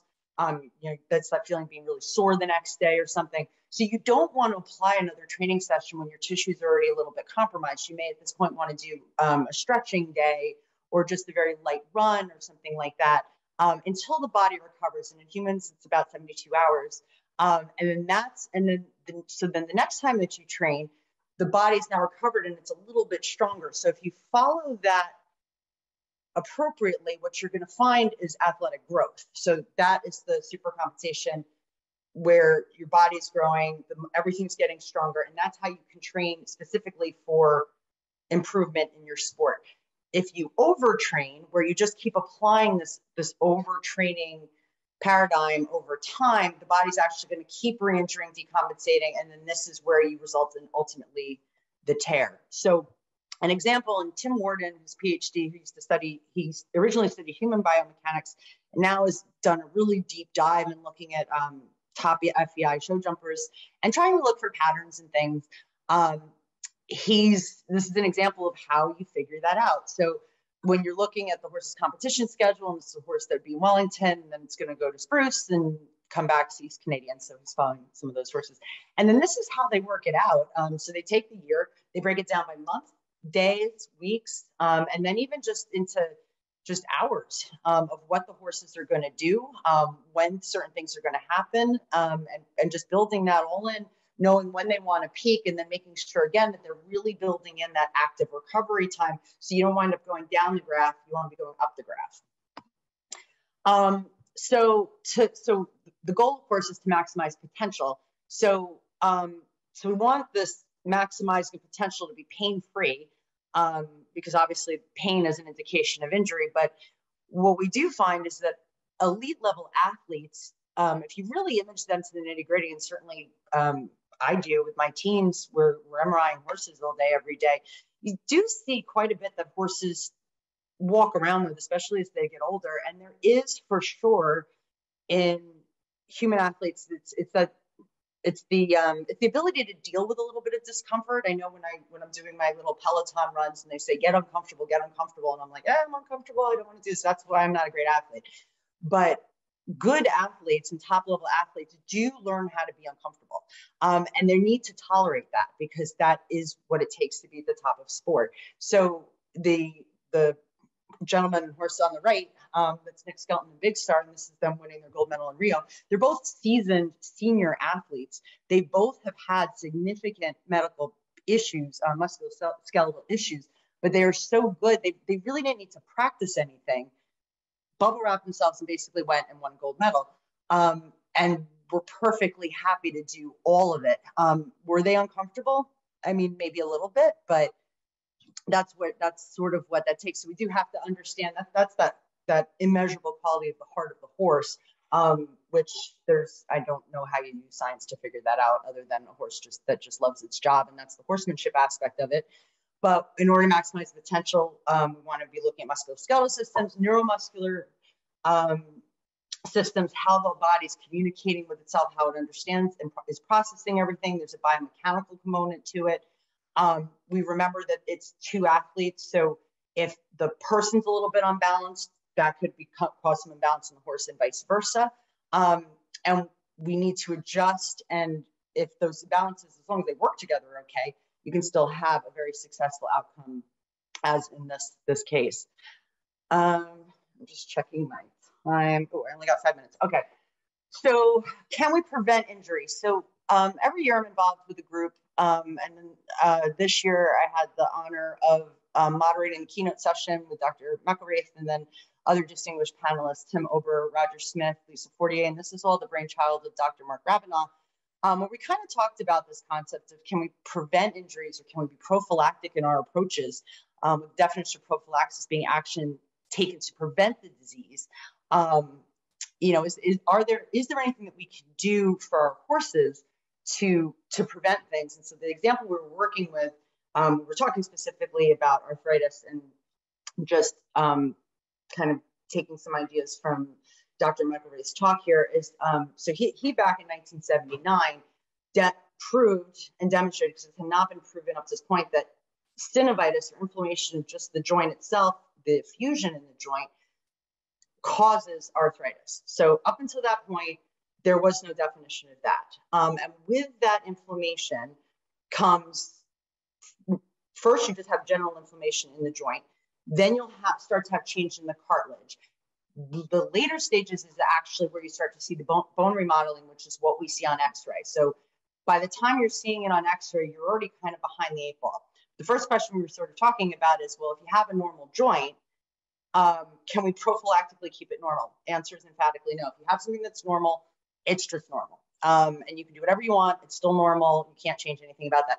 Once you start getting a little bit of inflammation in the joint, that's where we can step in and try to help things to prevent it from progressing to um, to actual arthritis. And this, this, schematic on the right, which is from Dr. Muckery's textbook, um, just shows how complicated the the um, arthritic cascade is. Starting with at the very top interleukin one, and that's where IRAP, which some of you may know, that's where that fits in. So trying to stop that very, very top part of the cascade because you just don't want things to progress to where you're seeing things on x-ray because then you're a little bit behind the eight ball and there's a ton of different treatments and um, devices that we use to try to do that. Some of them are symptom modifying so they just make things feel better but they're not changing the disease process. If we're actually changing the disease process. We call that disease modifying. And then we step in with with different um, different modalities to try to address this but again we have to understand what is causing that um, and, and fix any underlying factors um, in order to know which ones even apply. Um, so when we talk about that, as I said before, I'm just going to speed up a little bit for time. Um, can we actually say that we're prophylactically treating a joint if we're giving Adequan or we're putting some steroids in or something like that? Well, if there's something wrong with the joint, then no, you're not you're not doing anything because you're not affecting anything in the joint. If you can get on top of that inflammatory process and bring it back to zero, um, there's nothing more for you to do. Um, we have to worry more about ongoing processes, which are due to ongoing traumas, which is continued exercise or continued work. So this concept of prophylaxis, I mean, what can we do to prevent things? Well, I, I put my this picture here of me jogging the Standard because I'm actually very impressed with the way a lot of Standard people understand this. I mean, they have these horses working at a very consistent level. Um, they pay a lot of attention to how they eat and how they sleep. Um, and they only train them once or twice. They only take them up to training speed once or twice a week, and the rest of the time is active recovery and working on cardiovascular. So I think, you know, they they hit the nail right on the head in terms of how to keep those horses sound and comfortable. And that is one of the reasons why standardbreds can have a very long racing career. Um, so proactive strengthening of musculoskeletal system and neurologic systems is very helpful. That could be considered prophylactic we want to pick the right athletes. So we think about how they're bred, what their pedigrees are, how they're built, and their soundness histories. That that would be prophylactic. Um, when we're thinking about buying them, um, we're picking them that move correctly. They have the right I, attitude towards the job. They want to jump. They want to do dressage. They want to do a cross country course. I mean, I've been to enough. I've been privileged enough to be in enough three days to know that if you, you know, once a three, once a um, top level eventing horse gets its eyes onto the next fence, you'd almost get hurt trying to pull him off of it. I mean, he wants to go. So that's a suitability issue. And then again, confirmation, we'll do some x-rays to make sure things are not stressed in areas that are important. The the art of training, horsemanship, you know, building that that foundation for fitness and musculoskeletal health is very important. And then, I mean, this is this is it doesn't really exist exactly, but do we want to build the tissues better with gene therapies? Do we want to actually alter the DNA to make the mitigation of inflammation better? Well, that's also kind of gene doping or blood doping, so um, probably not really um, legal, but that would be another way to think of prophylaxis. Um, I'm going to skip that just for time. Um, so, in conclusion, um, rehabilitation is an essential part of recovery from disease, but we can still use a lot of those principles to promote the overall well-being of the equine athlete and encourage long-term soundness. And then fitness conditioning, good management and training practices can improve your athletic longevity. So just thanks everybody for tuning in. I hope everyone's still awake. And thank you so much for uh, to Rutgers University and Dr. Kerry for inviting me to speak, and of course everyone I work with. Um, and all the horses that I'm lucky enough to work with. And if anybody has any questions that don't get answered, um, best way to get me is my email, um, which I have up here. Oh, excellent, excellent. Well, uh, thank you very much, um, both Dr. Gold and Dr. Crisman. Um, I think the one uh, uh, saddest thing for me being virtual is you can't hear the big round of applause after all the speakers, but um, I hope everybody um, is doing a very nice big round of applause um, for both of our speakers. So what I would like to do now, and I know we've been kind of plucking away at some of the questions on the Q&A, um, as the speakers have been talking, but there are a couple that um, uh, have already been asked that I do want to address here live. Um, but then I would ask anybody if you have any questions uh, to either of our speakers, please ask them in the Q&A. Um, and then I will ask them live and ask the speakers. There was quite a few questions and we did answer some of them, but it goes back to what you first started talking about was Potomac horse fever. Can you just address those um, where where a lot of the cases reside in the U.S. and uh, and where they've been found most? Um, Northeast, Midwest, etc. Can you can you address that briefly? Yeah, Dr. Williams, we see them basically from the Mid Atlantic um, all the way, you know, up into New England, around the Great Lakes, uh, is where most of them. But because it's not a reportable disease, uh, we really don't have a good grasp on it. We know that there are a lot of vaccines that are sold. Uh, but usually because it has a fairly complex life cycle um, that ends with the uh, with the um, the the flying the caddis flies the small insects we we had a case this was a couple of years ago and usually Potomac horse fever occurs as one or two horses in a group. That's standard. Usually it's just one. A couple of years ago we had an outbreak at Liberty University which is in Lynchburg and what they what they used to do, they had a big communal water troughs outside of the paddocks, and they would bring the horses into the stalls at night, and they had big floodlights out in the paddocks, which attracted all kinds of insects.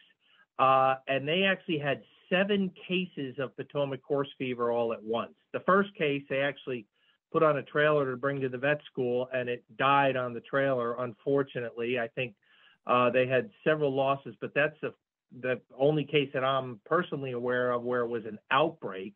But it was all due to keeping floodlights on. And if there's a common water source like that uh, with lights on at night, it attracted all the nasty little insects, and there you go. Uh, so, yeah, I'm not aware of a lot of cases out west. I do hear it periodically. Uh, but yes, we we can see it all across the U.S., but to my knowledge, most of them are Mid-Atlantic and New England and Great Lakes region. Got it. Well, there's another question for you dealing more with Lyme, and this is you did mention about extreme starvation, um, and then the Lyme will go into a protective uh, mode. Um, how how extreme of starvation are you talking about? Yeah, something that if they're just on a diet, is that enough? no, this is more related, and I'm sorry I didn't clarify that a little better. Uh, it had to do not with this particular starvation of the animal, but of the organism. So if the organism, and the big thing that puts it into the biofilm is what we call antibiotic stress. Um, so if the if the organism is not getting treated because it lives, you know, it can live outside of the circulatory system. So, and it doesn't need iron, as I mentioned. Uh, and I know a very common thing to do is to use doxycycline, uh, which has a very, very low bioavailability in horses. It has to be given twice a day, and it's got to be given for weeks to a month sometimes. And all you have to do is miss one or two doses because you're out to dinner or you're out to movies and you say, oh, I'm giving all these tablets twice a day, um, that's enough to throw it into what we call antibiotic stress. Uh, and the organism just gets angry and goes into a biofilm. But it's not actual starvation of the post animal of the horse. Uh, so it's more a form of starvation of the organism, and it's just it's simply a, a really effective uh, uh, survival method for the organism, which is bad for us because they've really perfected that survival mechanism, unfortunately. Got it. Got it. Well, thank thank you for that. Um, uh, let let's take a break and uh, switch to. Oh, she's got some great questions on there for a little bit.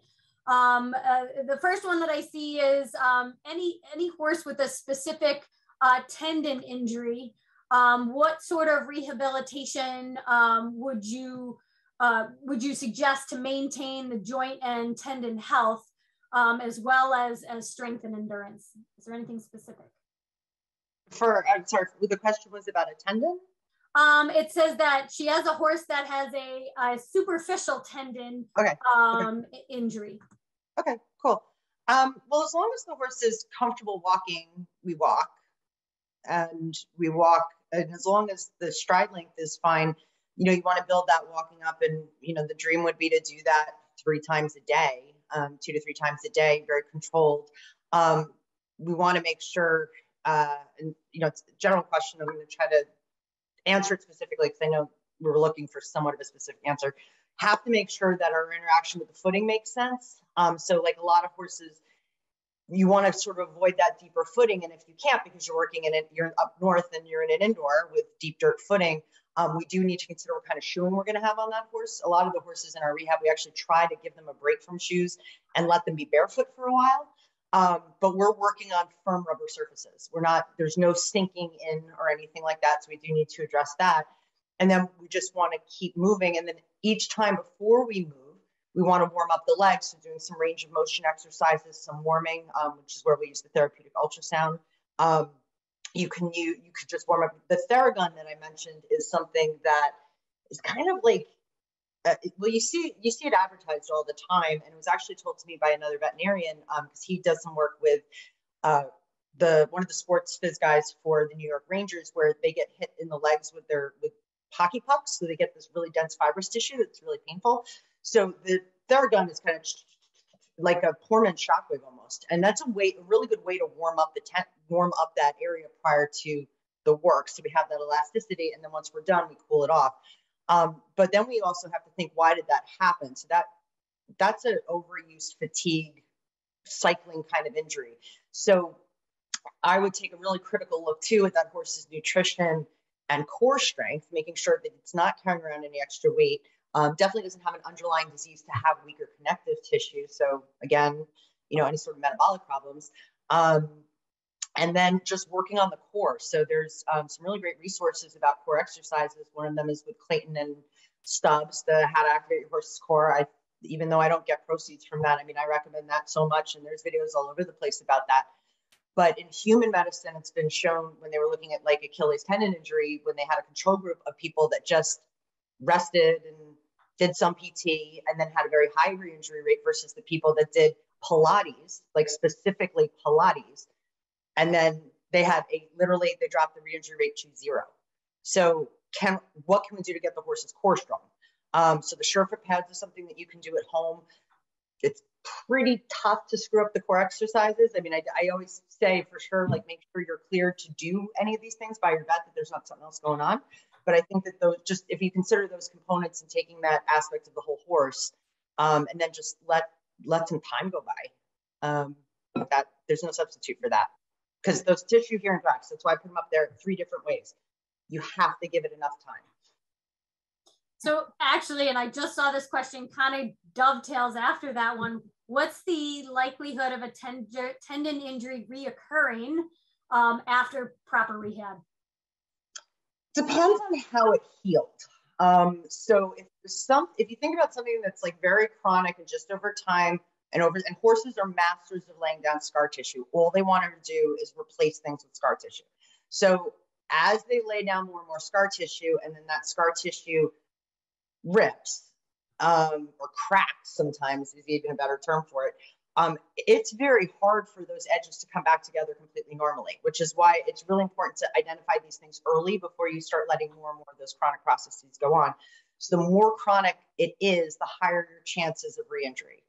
Um, and that's why why younger horses, which tend to do more acute traumatic things, now, yeah, they have a better ability to heal, but they also aren't going through this cycle where they have a ton of scar tissue now that we're just trying to kind of band-aid together in a different way. So I think we de- I mean, we definitely are going to get a re-injury at some point, um, especially if the horse goes back into the exact same program at the exact same level that injured it. Um, so I don't think I'm ever surprised that a horse re-injures. The question is, when does it re-injure? Does it re-injure in five years? Does it re-injure in five months? Does it re-injure in 10 years? Um, does it just injure further up? Um, so those those factors you just we're just trying to push that out as much as we can. So as long as we can feel confident that we have some good tissue in there, that's when we want to increase those loads and get back into more specific training and then really be mindful of like how did we wind up there in the first place. I don't know if that answers the question. I hope it does. I think you're doing great. You have a whole lot of questions. I'm trying to combine some of them. And um, actually, there's a few that are along the lines of hydrotherapy. So um, I guess first, um, is there any drawbacks to it? Then would you uh, prefer salt water or fresh water, or does it matter? So I'm assuming that hydrotherapy, we're talking about like water treadmilling, swimming? Um, well, one question was on either swimming or water treadmills, and the other one just said hydrotherapy in general. um, so the drawbacks is that so if it's a soft tissue injury, I don't want to see any black on the ultrasound. Um, so if it's a soft tissue lesion, um, it doesn't go into the water, which was kind of that case that I was showing, like that I was showing that we just we just weren't ready until we knew what was going on with that tendon um, to do that. And then any caveats with uh, the, the water height. So most horses can go into water therapy. Um, the question would be is if it's got a back problem, we want the water lower. If it's got a suspensory problem, we want the water higher. If we're trying to improve range of motion of fetlock joints, we want the water really, really low because um, that kind of makes the horse like think about the horse walking through puddles. So it's kind of doing more this, but that but that movement could be contraindicated if there's something else going on. And you can also mitigate that with the speed. So I think those things are really important to consider. Um, and obviously any skin issues. So sometimes we just got to give the horses a break with the water treadmill because they'll get dermatitis. Um, horses that come up from Wellington, uh, they've got all sorts of skin funks, or anywhere in Florida, really. I mean, so you have to be careful with any breaks in the skin, or if you have any inflammation. The other thing that I tell people is it's going to really mess with their feet um, because the hoof gets really distorted because the water just softens everything. So any abnormal conformation that that hoof has, especially the horses that are high-low, um, that can become really gnarly um, as the hoof softens. And then horses that we try to keep pads off of them, any sort of frog support, things like that, because all that water just traps underneath there, and you get some you can get some nasty thrush. So I'm I'm, care- I'm careful in how I apply that. And then I think there was a, one other part. Was it temperature? Uh, salt water or fresh oh, water? Oh, okay. So interestingly, the study that showed one of the big studies that was originally done looking at buoyancy. Um, so they demonstrated that if you had the water up at these various different levels, you could actually start to float the horse a little bit um, and really remove some of that load, um, which we would love to be able to do because, like in people, you get beautiful healing of really chronic lesions even after surgery because the surgeon and PT person will say, don't walk for two weeks. And literally, if you just are non weight bearing for two weeks, you solve 90% of your problems. Because we can't get horses to do that, um, we want to try to float them. Um, so, one of the first studies that was done showed this incredible, and I, I think I flipped through it really quickly, but um, uh, that we can get these great buoyancy effects, but they were studying salt water. Um, most water treadmills are not salt water, they're just regular water. Um, one of the big reasons for that is that is a really hard thing to actually maintain. Like maintaining the right levels of salt in a pool like that is a giant pain ass, basically. Um, and it's really hard in the equipment. Um, you have the repair guy out all the time. Um, and then what's that secret formula of what the best salt water is? Um, we don't really know. But overall, like I would love it if our all of our treadmills were salt water. The problem is I don't have the time to be like the pool guy every five minutes. So, um, so, I, so I think that makes it a little bit trickier. Most of the manufacturers aren't, they don't make them salt water. So we do the regular water. Thank you. So we, we, I know we're running a little late, but there's a couple more questions I want to get to. I just want to mention if anybody's going to log off, um, I've been posting a link. I would love it. It's just five questions. It's super quick. If everyone can fill out the evaluation for tonight, um, let us know what you liked, what you learned, and what you want to hear in the future, because that's how I I developed our program for this year was based on last year's surveys. So um, just go ahead and um, take that quick Qualtrics survey. Um, but let's take just a few more questions. I know we're not going to get to all of them, and I know Dr. Crisman worked really hard to answer um, those that came in during and after his talk. So a lot of them are actually for, for Dr. Gold.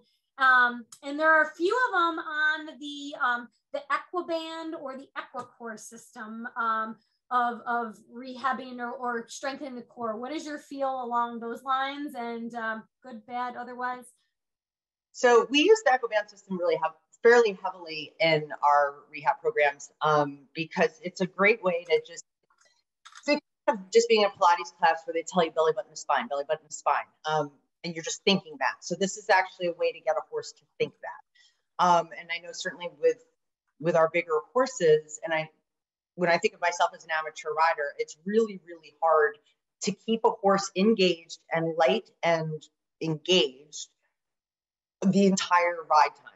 Um, I mean, I have to think about that constantly. Um, and I know, I mean, that's what actually my dressage clients are some of some of our easiest clients to get to rehab because they are so focused on understanding engagement and getting a horse lighten up off its forehand and using its hind end. So the Equiband, I, I'm not, it, it's not cheating. It's a way to remind the horse to carry itself properly. So we'll start that when they're fairly if they can walk straight on a treadmill and be and walk strong and they are comfortable, we will introduce the Equiband, and then the horse is trained with the Equiband. We'll actually send the Equiband home with the horse so it can continue on either via, with, during its hand walks, during its under saddle.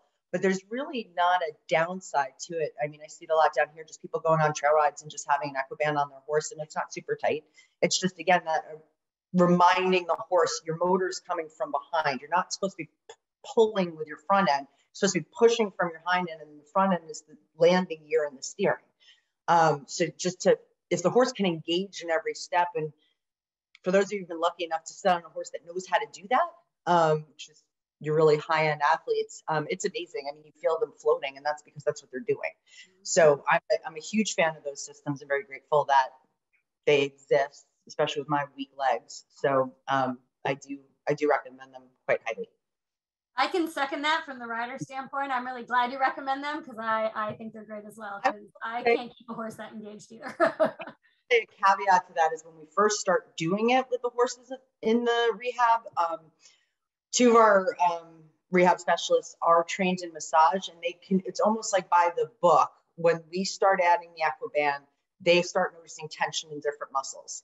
So I do think that it is important to kind of know your horse's baseline in terms of how their muscles are, and um, and certainly consulting with professional massage therapists, body work specialists, things, uh, people in that field, and understanding what that baseline is, and then how it changes, with the understanding that it's going to change. Remember when we're doing that um, growth super compensation curve, there's going to be some pain in the beginning as that changes.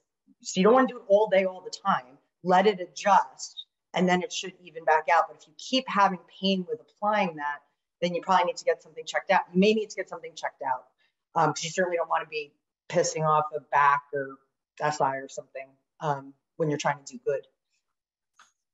Excellent. Well, um, hopefully this one will be uh, the last brief question, but I do see there's a couple very specific questions. And I know you mentioned that it was okay if people contacted you about something very specific. So if I don't get to your very specific question, um, you know, please, I'll, I'll pop your email if you don't mind in, in the chat again while you're answering this last question. But um, the last one is um, just very generally, are, are injuries typically from use or can they also be from footing? And what do we need to be concerned about there with footing, different types of footing? I think, well, I don't think it's one more than the other. I think in in sport horses, it's chronic repetitive overuse injury. So it's an inappropriate response to the applied forces. So if those forces are dealing with footing that's too deep, when the job is to spring up into the air, then you're going to have this repetitive traumatic cycle.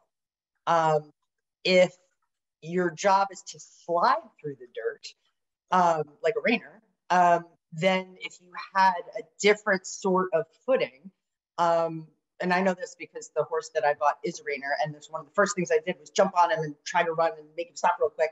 And as I'm about to ask him to stop, and I'm in my uh, trainer's very fancy footing, or like the artificial footing that is in all the jumping surfaces here. And as I'm about to stop, tell him to, whoa, my trainer's like, don't do that in that footing. Because one, I'm going to strip it down to the base and it's really expensive. And two, yeah, I mean, he couldn't stop because it just, as soon as he went into the slide, he stopped. And I'm lucky that his stifles, I didn't leave his stifles in the back corner. Um, and he just very kindly hopped. And I was like, okay, that was a really, really bad idea. So the, the surface needs to be appropriate for the work that you're doing. Otherwise, you're going to wind up in that situation. It's also important to cross train on different surfaces, right? So the body adapts to different stimulation. So being able to try to do different things. But on the, I guess another way to answer that would be is if you have, say, a soft tissue injury, avoid competing or overtraining on days where the footing's not great or not ideal. If it's too deep, it's too slippery, the horse is going to have too many weird, unorganized movement. Um, then you want to have a surface that's much more predictable and giving, and then how the shoeing inter or the foot, if it has shoes on, interacts with those surfaces um, can help you or hurt you. So it's it's really tailored to the sport. Um, and then what you have available to you. And yes, there's always like the perfect combination of what it is that you want for that particular athlete. Um, but there's also a reality of this is where your horse lives, and this is the type of footings that, that, that's at that place, and this is the level that, and then this farrier does this. Um, so you have to come up with a program that will work, and you can come up with that because there's a whole bunch of different ways to skin that cat. Um, but there's there's just some basic principles about it that you just think about.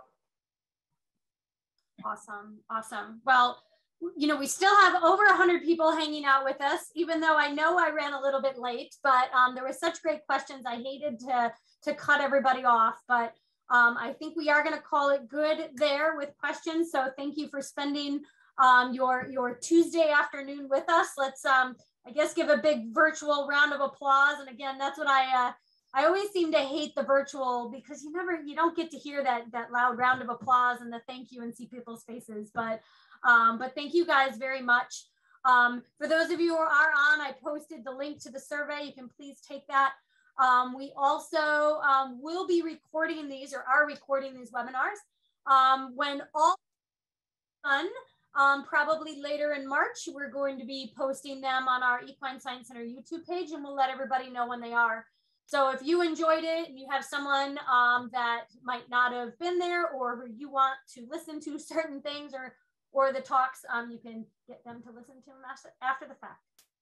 So thank you again, everybody. Thank you again to our speakers. Thank you, Zoetis. Thank you, uh, BW Furlong, for, um, for supporting you guys um, and for donating your time for us today. Thank you again. And thank you all the attendees. Thank you. Thank you, guys.